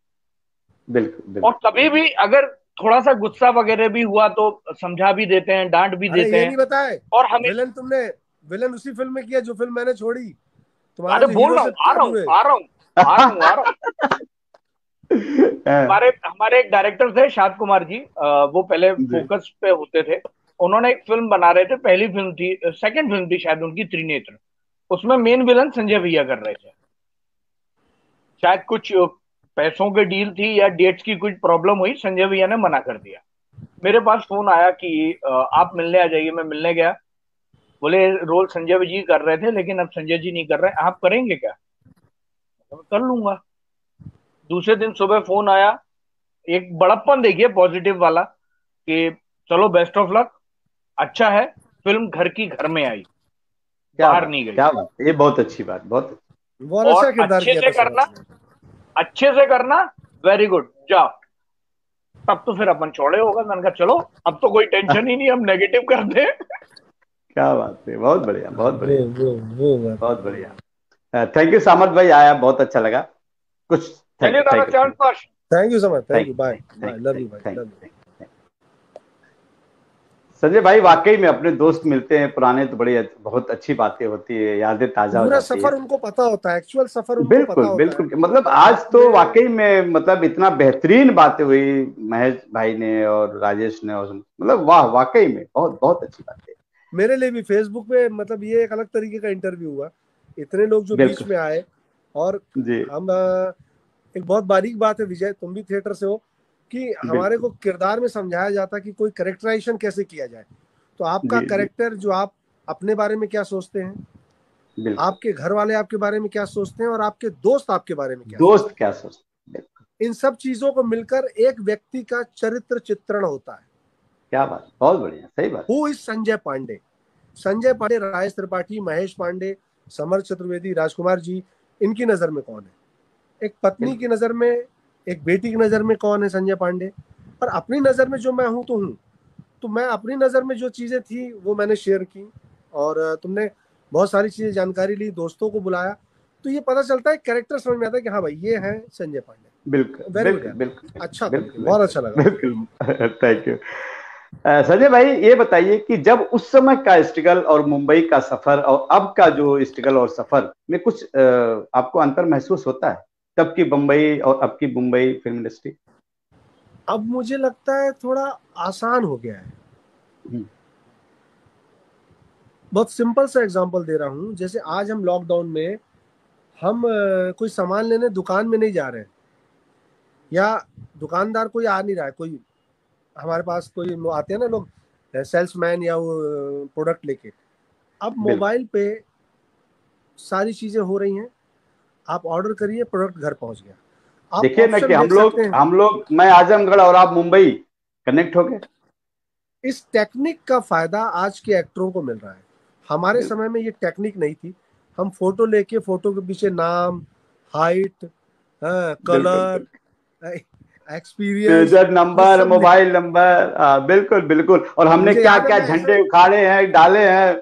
हाँ मैं ऐसे ऐसे बनाता था। ये ये ये हाँ, करके हाँ, उसके ऊपर फ़ोन का फ़ोन का चित्र बनाता था और आगे नंबर लिखता था। और कई दिनों तक तो पीपी नंबर था। तब ज़्यादा मुश्किल था स्ट्रगल तब और जब हम सामने जाते थे तो हमें जिसे कहा जाए ना कि वो धिक्कार भी बहुत होता था बहुत धिक्कारते थे। बहुत बेजती सहनी पड़ती थी। बड़ा वैसा ह्यूमिलेट करते थे कि आ, क्या है? एक्टर तो एक्टर सुन के आधा दिमाग खराब हो जाता तो उनका क्या है? सारा कोई भी एक्टर बनने चला आता है। वो चीज़ अब नहीं है। आपको पता नहीं चलता कि सामने वाला क्या रिएक्ट कर रहा है आपकी फ़ोटो देखकर आज की डेट में। तब हमें चेहरे से दिख जाता था कि अच्छा ये पसंद नहीं है हमारा आना। तो मुझे मुझे लगता है अब स्ट्रगल ज़्यादा आसान है। बिल्कुल बिल्कुल बिल्कुल। संजय भाई चूँकि हम लोग भी भोजपुरी के भोजपुर मतलब आजमगढ़ के हैं हमारी मातृभाषा है। संजय भाई जो दर्जा मिलना चाहिए भोजपुरी को कि आज हम सब परिवार भोजपुरी फ़िल्में नहीं देख पाते। कहाँ कमियाँ रह गई? कब वो दिन आएगा कि जैसे हम लोग हिंदी फ़िल्में सब परिवार देखने जाते हैं वो दिन कब आएगा? क्योंकि आप एक बहुत सशक्त अभिनेता हैं। कहाँ पे कमियाँ हैं? मुझे ऐसा लगता है कि ये जो दूसरा दौर शुरू हुआ तीसरा दौर भोजपुरी का आफ्टर हम्म। ससुरा और ये सारी फ़िल्में आई तो कहीं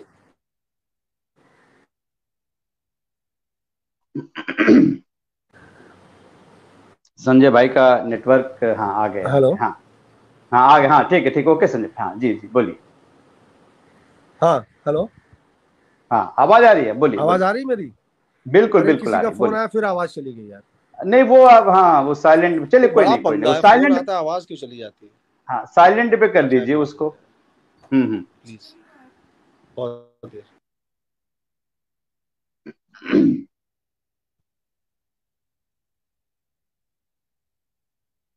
दोस्त कुछ प्रॉब्लम हाँ आ गए संजय भाई हमारे। और बड़ी अच्छी बातचीत हो रही है। बातें हो रही हैं। जी संजय भाई जी। हाँ। तो मुझे ऐसा लगता है हेलो? हाँ, हाँ आवाज़ आ रही है। हाँ बिल्कुल हाँ, बोलिए। हाँ, मुझे ऐसा लगता है कि हमने ही हाँ, कहीं कुछ कमियाँ रही हैं। हमने अपनी टारगेट ऑडियंस बदल दी। भोजपुरी ने अपनी टारगेट ऑडियंस बदल दी। और वो ऑडियंस हमारे पास बहुत बड़ी संख्या में आ गई। जो टारगेट ऑडियंस थी हमारी। जिस ऑडियंस को वो एंटरटेनमेंट चाहिए था जो हम दे रहे थे। या जो वो चाह रहे थे वो हम दे रहे थे। हम्म। बड़ा कंफ्यूजन है कि हम जो दे रहे थे वो एक्सेप्ट कर रहे थे या वो जो चाह रहे थे वो हम उनको दे रहे थे। तो ये ऑडियंस बढ़ती गई और ये ऑडियंस कंटिन्यू कई सालों तक थी। तो हमने उस ऑडियंस की परवाह ही नहीं की जो ऑडियंस नहीं आ रही है। हाँ बिल्कुल हम भी उस ऑडियंस के प्रति बेपरवाह हो गए जो घरों में रह गई जो निकली नहीं हॉल में। क्योंकि हम जब हॉल में जाते थे तो हम देखते थे हॉल तो भरा हुआ है। हॉल तो खचा खच है। पैसे भी आ रहे हैं ऑडियंस भी आ रही है। तो फिर हमने उस ऑडियंस से क्या लेना देना? हमारे लिए है। टारगेट ऑडियंस है। बहुत सही बात है बोला ये हमारे गाने पे सीटी बजा रही है। ये हमारे डायलॉग पे ताली बजा रही है। ये हम निकल रहे हैं तो हमको बाहर घेर रही है। ये हमसे ऑटोग्राफ ले रही है ये हमसे सेल्फी ले रही है। तो ये भी तो ऑडियंस है ठीक है? तुम नहीं आते हो अपनी बला से घर पे रहो नहीं दिखाना हमको तुमको पिक्चर ये एक अलग तरीके की जिद मेकर के अंदर आ गई। मेकर समझ नहीं पाया कि ऑडियंस बढ़ानी पड़ेगी। ये ऑडियंस जो अकेले फ़िल्म देखने आ रही है ये भी फैमिली वाली ऑडियंस है। बिल्कुल। और हम वहीं चूके और धीरे धीरे उस अब कोशिश हो रही है। और अब भी कोशिश नहीं अब हालात ऐसे हो गए कि अब कोशिश करनी पड़ेगी हमको। अब सारा सिनेमा सैटेलाइट पे आ गया है। तो अब सैटेलाइट पे तो आपको जो आपको लगता था कि हॉल में लोग जिसपे ताली मारते थे सीटी मारते थे वो चीज़ें वो नहीं पसंद करेंगे। तो आपको वो चीज़ें काटनी पड़ रही है। अब मुझे लगता है तब भी हमने अच्छा सिनेमा बनाया था। मैं सिनेमा बुरा की बात नहीं कर रहा मैंने कहा था हमारी ऑडियंस अलग थी। बिल्कुल बिल्कुल बिल्कुल। अब हमें इस ऑडियंस के लिए सिनेमा बनाना पड़ेगा जो घर में बैठ के फ़िल्म देखती है। बिल्कुल बिल्कुल। संजय भाई आप फ़िल्मों के साथ साथ सीरियल में भी बहुत अच्छा काम कर रहे हैं और आगे भी कर ही रहे हैं। तो आपको कौन सा पसंद आता है? फ़िल्में करने में बहुत मज़ा आता है कि सीरियल करने में बहुत मज़ा आता है? मेरे साथ ऐसा नहीं बारे मुझे हाँ। मुझे काम करने में अच्छा लगता है। क्या मुझे एक्टिंग करने में अच्छा लगता है। माध्यम कोई भी हो। मैं भोजपुरी सिनेमा को भी उतना ही इंजॉय करता हूँ, जितना मैं सीरियल को करता हूँ। अगर मैं सीरियल में इंजॉय नहीं करता तो सीरियल नहीं करता। नौकरी इसीलिए नहीं की क्योंकि मजबूरी वाला काम नहीं करना है। इसलिए नौकरी नहीं की मैंने ज़िंदगी में। मैंने जॉब बचपन से सोच दिया था, मुझे जॉब नहीं करना है। मुझे वो काम करना जो मेरे मन का काम है। तो अगर टेलीविज़न में मुझे एक्टिंग करने में मज़ा नहीं आता तो मैं कभी टेलीविज़न नहीं करता। मैं एक्टिंग को एंजॉय करता हूँ। हाँ सिनेमा थोड़ा कैनवास बड़ा होता है। सिनेमा में थोड़ा टाइम मिलता है टाइम मिलता है। आपको करेक्टर पे काम सीरियल में एकदम नहीं मिलता। सीरियल में नहीं मिलता। सीरियल में तो एकदम आप जाइए आपके हाथ में आठ मशीन एकदम काट काट काट बिल्कुल। तो और टचवुड विजय बाबू ये एक अच्छी बात है कि मैं दोनों फॉर्मेट में फिट होता हूँ। फिट हूँ बिल्कुल बिल्कुल बिल्कुल। बिल्कुल। ये। संजय भाई बीच में जब हमारे आजमगढ़ से दिनेश जी खड़े हुए थे तो आपने बहुत सक्रिय राजनीति में उनका बढ़ चढ़ के हिस्सा लिया और साथ दिया।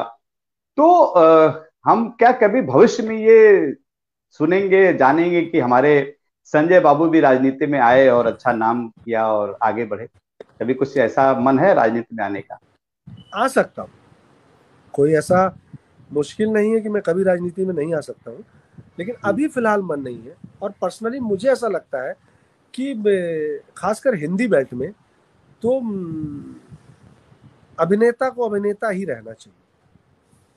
राजनेता जब आप बन जाते हैं ना तो एक तो क्या हम लोग दिल वाले लोग हैं अभिनय दिल से किया जाता है और राजनीति दिमाग से की जाती है। बिल्कुल बिल्कुल। तो ये कम से कम एक बीते से ज़्यादा का फासला है दोनों के बीच में। तो हम लोग दिल वाला ही काम करें तो बेहतर है। ये दिमाग वालों की बस्ती में हम बहुत पीछे रह जाते हैं दोस्त। इसलिए संसद में वो हमको सबसे पीछे बिठाते हैं। कि ये बिल्कुल। दिल वाले लोग हैं ये। ये बहुत इमोशनल टाइप के लोग होते हैं इनको पीछे बिठा लो यहाँ दिल वालों का नहीं दिल वालों का नहीं दिमाग वालों का काम है। तो राजनीति दिमाग वालों के लिए है अभिनय दिल वालों के लिए है। बहुत फ़र्क है नेता और अभिनेता में दिल और दिमाग का। तो मुझे लगता है जब तक दिल कहेगा तब तक दिल वाला काम करेंगे। जब दिमाग कहेगा दिमाग वाला करेंगे। क्या बात है बहुत बढ़िया। संजय भाई, हमारी इंडस्ट्री में पेमेंट को लेके बड़े पंगे होते हैं कि तीन महीने बाद पेमेंट मिलेगा और मिलेगा कि नहीं मिलेगा और सब लोग बहुत परेशान होते हैं, चाहे वो हिंदी फ़िल्म है, भोजपुरी फ़िल्म में बहुत ज़्यादा ये होता है। उस पर आपकी क्या राय? ये सिस्टम खत्म होना चाहिए, क्योंकि सब लोग बहुत प्रभावित होते हैं। मुझे ऐसा लगता है कि पहली बात तो क्या कि हमारे यहाँ ये फिर एसोसिएशन का प्रॉब्लम है। एसोसिएशन जो हमारी है वो प्रॉपर प्रोड्यूसर के साथ डील नहीं कर पाती है। ऐसा हालाँकि हम्म, हम्म। मेरे साथ नहीं हुआ है लेकिन मैक्सिमम लोगों के साथ होता है। पेमेंट का प्रॉब्लम एक बहुत बड़ा इशू है हमारी इंडस्ट्री में। बहुत बड़ा बहुत बड़ा इशू बहुत बड़ा इशू है। इसमें क्या है पिछते टेक्नीशियंस एक्टर है। मुझे ऐसा लगता है कि जो हमारी एसोसिएशन है जो ये दावा करती है कि वो हमारे लिए है उनके बीच में और प्रोड्यूसर के बीच में एक बहुत पारदर्शिता होनी चाहिए बहुत साफ़ बातचीत होनी चाहिए और ये समस्या दूर तो होनी चाहिए। ये बहुत बड़ी प्रॉब्लम है। बिल्कुल। संजय भाई हमारे हेलो। हाँ। संजय भाई हमारी फ़िल्म इंडस्ट्री में परिवारवाद का बहुत आरोप लग रहा है। अभी आप देख ही रहे सुन रहे हैं। तो क्या भोजपुरी फ़िल्म में भी ऐसा है? परिवारवाद का बहुत ज़्यादा वहाँ पे है। नहीं कहीं नहीं। भोजपुरी में बिल्कुल नहीं है। हम्म। और एक्चुअली भोजपुरी मैं भोजपुरी की बात करूँ तो भोजपुरी में बिल्कुल नहीं है। अभी इससे पहले समर चतुर्वेदी आए थे ये भोपाल के रहने वाले हैं। इनको as a hero Sujeet Kumar हमारे भोजपुरी के सुपरस्टार रहे हैं। सुजीत जी ने लॉन्च किया। समर चतुर्वेदी भोपाल के इन्होंने छत्तीसगढ़ी फ़िल्म भी की है एज ए हीरो वो भी इनकी सुपरहिट रही है फ़िल्म परदेसी के माया क्या नाम था उसका? और हमारे यहाँ जो आए थे भोजपुरी में ये वो भी फ़िल्म सुपरहिट गई थी इनकी पहली। तो जब एक मध्य प्रदेश का बंदा भोजपुरी में आके फ़िल्म कर रहा है एज ए हीरो कर रहा है। ऐसे बहुत सारे चेहरे हैं बहुत सारे नाम है। विजय बाबू मैं आपको एक बात बता दूँ। मेरा इस फ़ील्ड में आने के पीछे सिर्फ़ एक एक बहुत बड़ा रीजन ये भी था कि इस फ़ील्ड में नेता की चिट्ठी नहीं चलती। मंत्री की चिट्ठी नहीं चलती। इस फ़ील्ड में आप बाहुबली हो नहीं चलोगे। इस फ़ील्ड में आरक्षण नहीं चलता। यहाँ सिर्फ़ इस फ़ील्ड में चलता है सिर्फ़ टैलेंट सिर्फ़ टैलेंट चलता है। और कोई आपके टैलेंट को कितने दिन छुपाएगा सर आज आप इंडस्ट्री में देख लीजिए। चलिए मैं हिंदी की बात करता हूँ। अंशुमान खुराना कौन से खानदान खानदानी पेशा है उनका एक्टिंग का? बिल्कुल, और वो क्या राव राजकुमार राव? राव राजकुमार राव। इन दोनों की अपनी ऑडियंस है ना? बिल्कुल बिल्कुल। सुपर हिट फ़िल्में होती हैं। सर इनको आप सलमान खान की ऑडियंस से कंपेयर मत करिए लेकिन इनकी अपनी ऑडियंस है जो इनके नाम से फ़िल्म देखने जाती है। तो आप कहा परिवारवाद की बात कर रहे हैं साहब? ये नाकाम लोगों के फंडे हैं। ये नाकाम लोगों की ढाल है। ग्रुपिज्म नेपोटिज्म ये सब कुछ नहीं सर। जिसमें टैलेंट नहीं टैलेंट है तो आप निकलोगे हाँ बिल्कुल फैक्ट और कई स्टार के बच्चे देखे ना देखिए क्या होता है सर। आदमी अपने ऊपर दोष नहीं लेता। कि गुरु हम में कमी रही हम मौके को यूज़ नहीं कर पाए। हम अच्छी एक्टिंग नहीं कर पाए। और खासकर एक्टर तो सबसे ज़्यादा झुट्ठा होता है और सबसे ज़्यादा आलसी होता है। आलसी अगर कोई पूरी कला के क्षेत्र में सबसे ज़्यादा कोई कौम सबसे आलसी होती है तो वो एक्टर होता है। वो रियाज नहीं करना चाहता वो एक्टिंग पे डिस्कशन नहीं करना चाहता वो सिर्फ़ शाहरुख खान बनना चाहता है। बस। आप पाँच मिनट बात करिए एक्टिंग के बारे में उनको पता नहीं होगा कि एक्टिंग के बारे में बात क्या क्या होता है।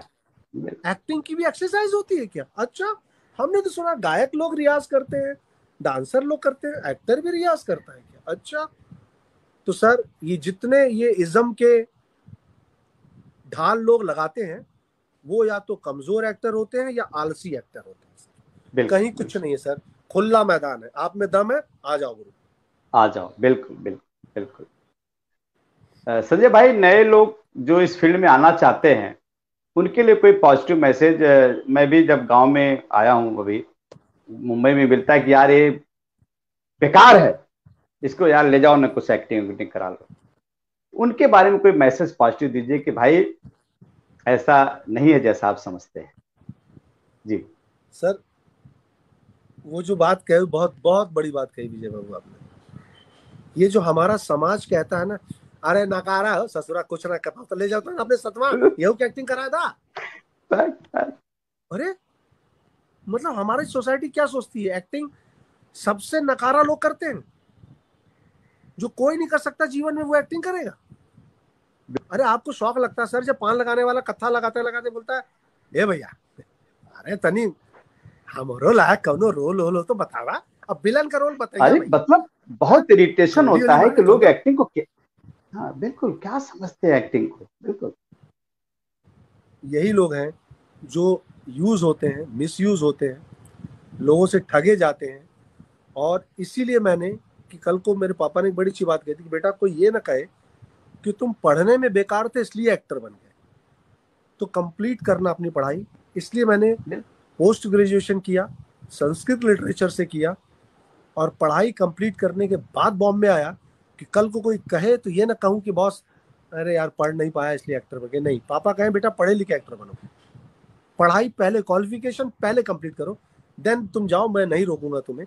लेकिन हमारी सोसाइटी और वो उन सब लोगों के लिए जो लोग गाँव में बैठ के जो अभी मुझे सुन रहे हैं या जो लोग गाँव में देखते हैं एक तो आजकल फेसबुक और इंस्टाग्राम पे लोग ऐसा मैसेज करते हैं आपसे कुछ ज़रूरी बात करनी है। आपको मैसेंजर पे मैसेज दिया है अरे कवन ज़रूरी बात करेगा भाई हम के पता। हमसे तो बिना बिना कहले हम बता देती। क्या आपका नंबर मिलेगा? नंबर में तू कवन हमके अंतरिक्ष का जानकारी देवा है? सही बात है सही हमके पता ना कवन बात करेगे तो के हम जब जब तो हमके कोने में बुलावत हुआ कि आवा भैया कोने में तई तो से बतियावे क्या? आप आसान रास्ता पूछना चाहते हैं। आप चाहते संजय पांडे हेल्प करे। संजय पांडे क्यों हेल्प करेगा आपकी लेकिन इसमें शॉर्टकट कुछ नहीं है। शॉर्टकट चाहते हैं आप? आप एक्टिंग का ए नहीं आता है आपने हल्के में ले रखा है।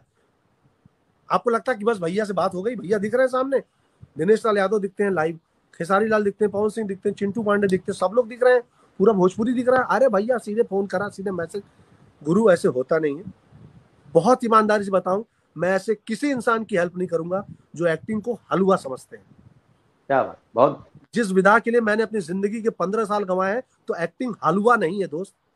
मेहनत करो और रास्ता मुझसे मत पूछना। एक गर्लफ्रेंड रखते हो तो उसको चिट्ठी कैसे पहुँचाया जाए मैसेज का कैसे पहुँचाया जाए ये संजय पांडे से पूछने आते हो या बाबूजी से पूछते हो? जुगाड़ खुद ही लगाते हो ना? बड़ी कड़वी बात कह रहा हूँ विजय बाबू। नहीं नहीं बहुत सही बहुत सही। ये, लोग ये लोगों का भ्रम टूटना चाहिए। हाँ, भ्रम टूटना चाहिए। गर्लफ्रेंड को मैसेज भिजवाना क्या करना ये जुगाड़ तो खुद लगाते हैं आप लोग। लेकिन एक्टिंग बारे में भैया कोई रास्ता बताइए। भैया बताइए कैसे जाया जाए? भैया का बता मैं पता करा खुद। भैया का नंबर वाला ले ला तू और डायरेक्टर का नंबर ना मिला था। तो दोस्त ईमानदारी से मेहनत करिए और पूछिएगा मत कैसे मेहनत करनी है। हमको कोई नहीं बताने आया था। हम खुद ही नहीं बिल्कुल बिल्कुल पता करिए जब आप अमेरिका की खबर बैठ के गाँव में ले सकते हैं तो इंडिया में क्या हो रहा है आपको बताना पड़ेगा कि एक्टर कैसे बना जाता है। तो वो पता आप करिए। आप मुंबई आइए आपके अंदर टैलेंट होगा। किसी संजय अंजय पांडे की ज़रूरत नहीं है आपको।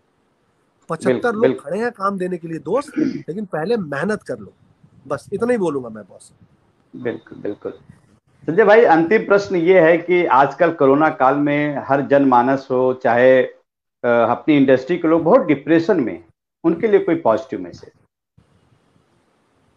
दोस्त मुझे ऐसा लगता है कि सबसे बड़ी चीज़ जो इस कोरोना काल में जिसने हमें तोड़ा वो है आर्थिक। फाइनेंशियल प्रॉब्लम बिल्कुल बिल्कुल।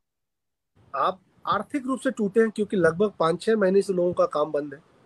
बंद और हम सरकारी हम सरकारी या प्राइवेट जॉब नहीं करते हैं कि हम घर पे बैठ के भी पैसा हमें तनख्वाह मिलेगी या हमारी लाइन में वर्क फ्रॉम होम नहीं होता। फ़िल्म लाइन का काम वर्क फ्रॉम होम वाला है ही नहीं ना? नहीं नहीं नहीं नहीं बिल्कुल बिल्कुल। आपको सेट पे जाना पड़ेगा। आपको काम करना पड़ेगा। छह महीने से मैं भी घर पे बैठा हूँ कोई काम नहीं कर रहा हूँ। और मुझे ऐसा लगता है और मैंने इस छह महीने को बहुत पॉजिटिवली यूज़ किया है। मैंने कविताएँ पढ़ी मैंने नाटक पढ़े मैं लाइव आया और बहुत सारी चीज़ें की हैं। तो मुझे ऐसा लगता है कि परेशान होने से ज़िंदगी खत्म कोई हल नहीं निकलता। रोने से कोई हल नहीं निकलेगा। बेहतर हो इस समय का सदुपयोग करें। अगर आप मुंबई में नहीं रह सकते आप गाँव में थे कुछ लोग गाँव चले गए मुझे लगता बहुत अच्छी बात है।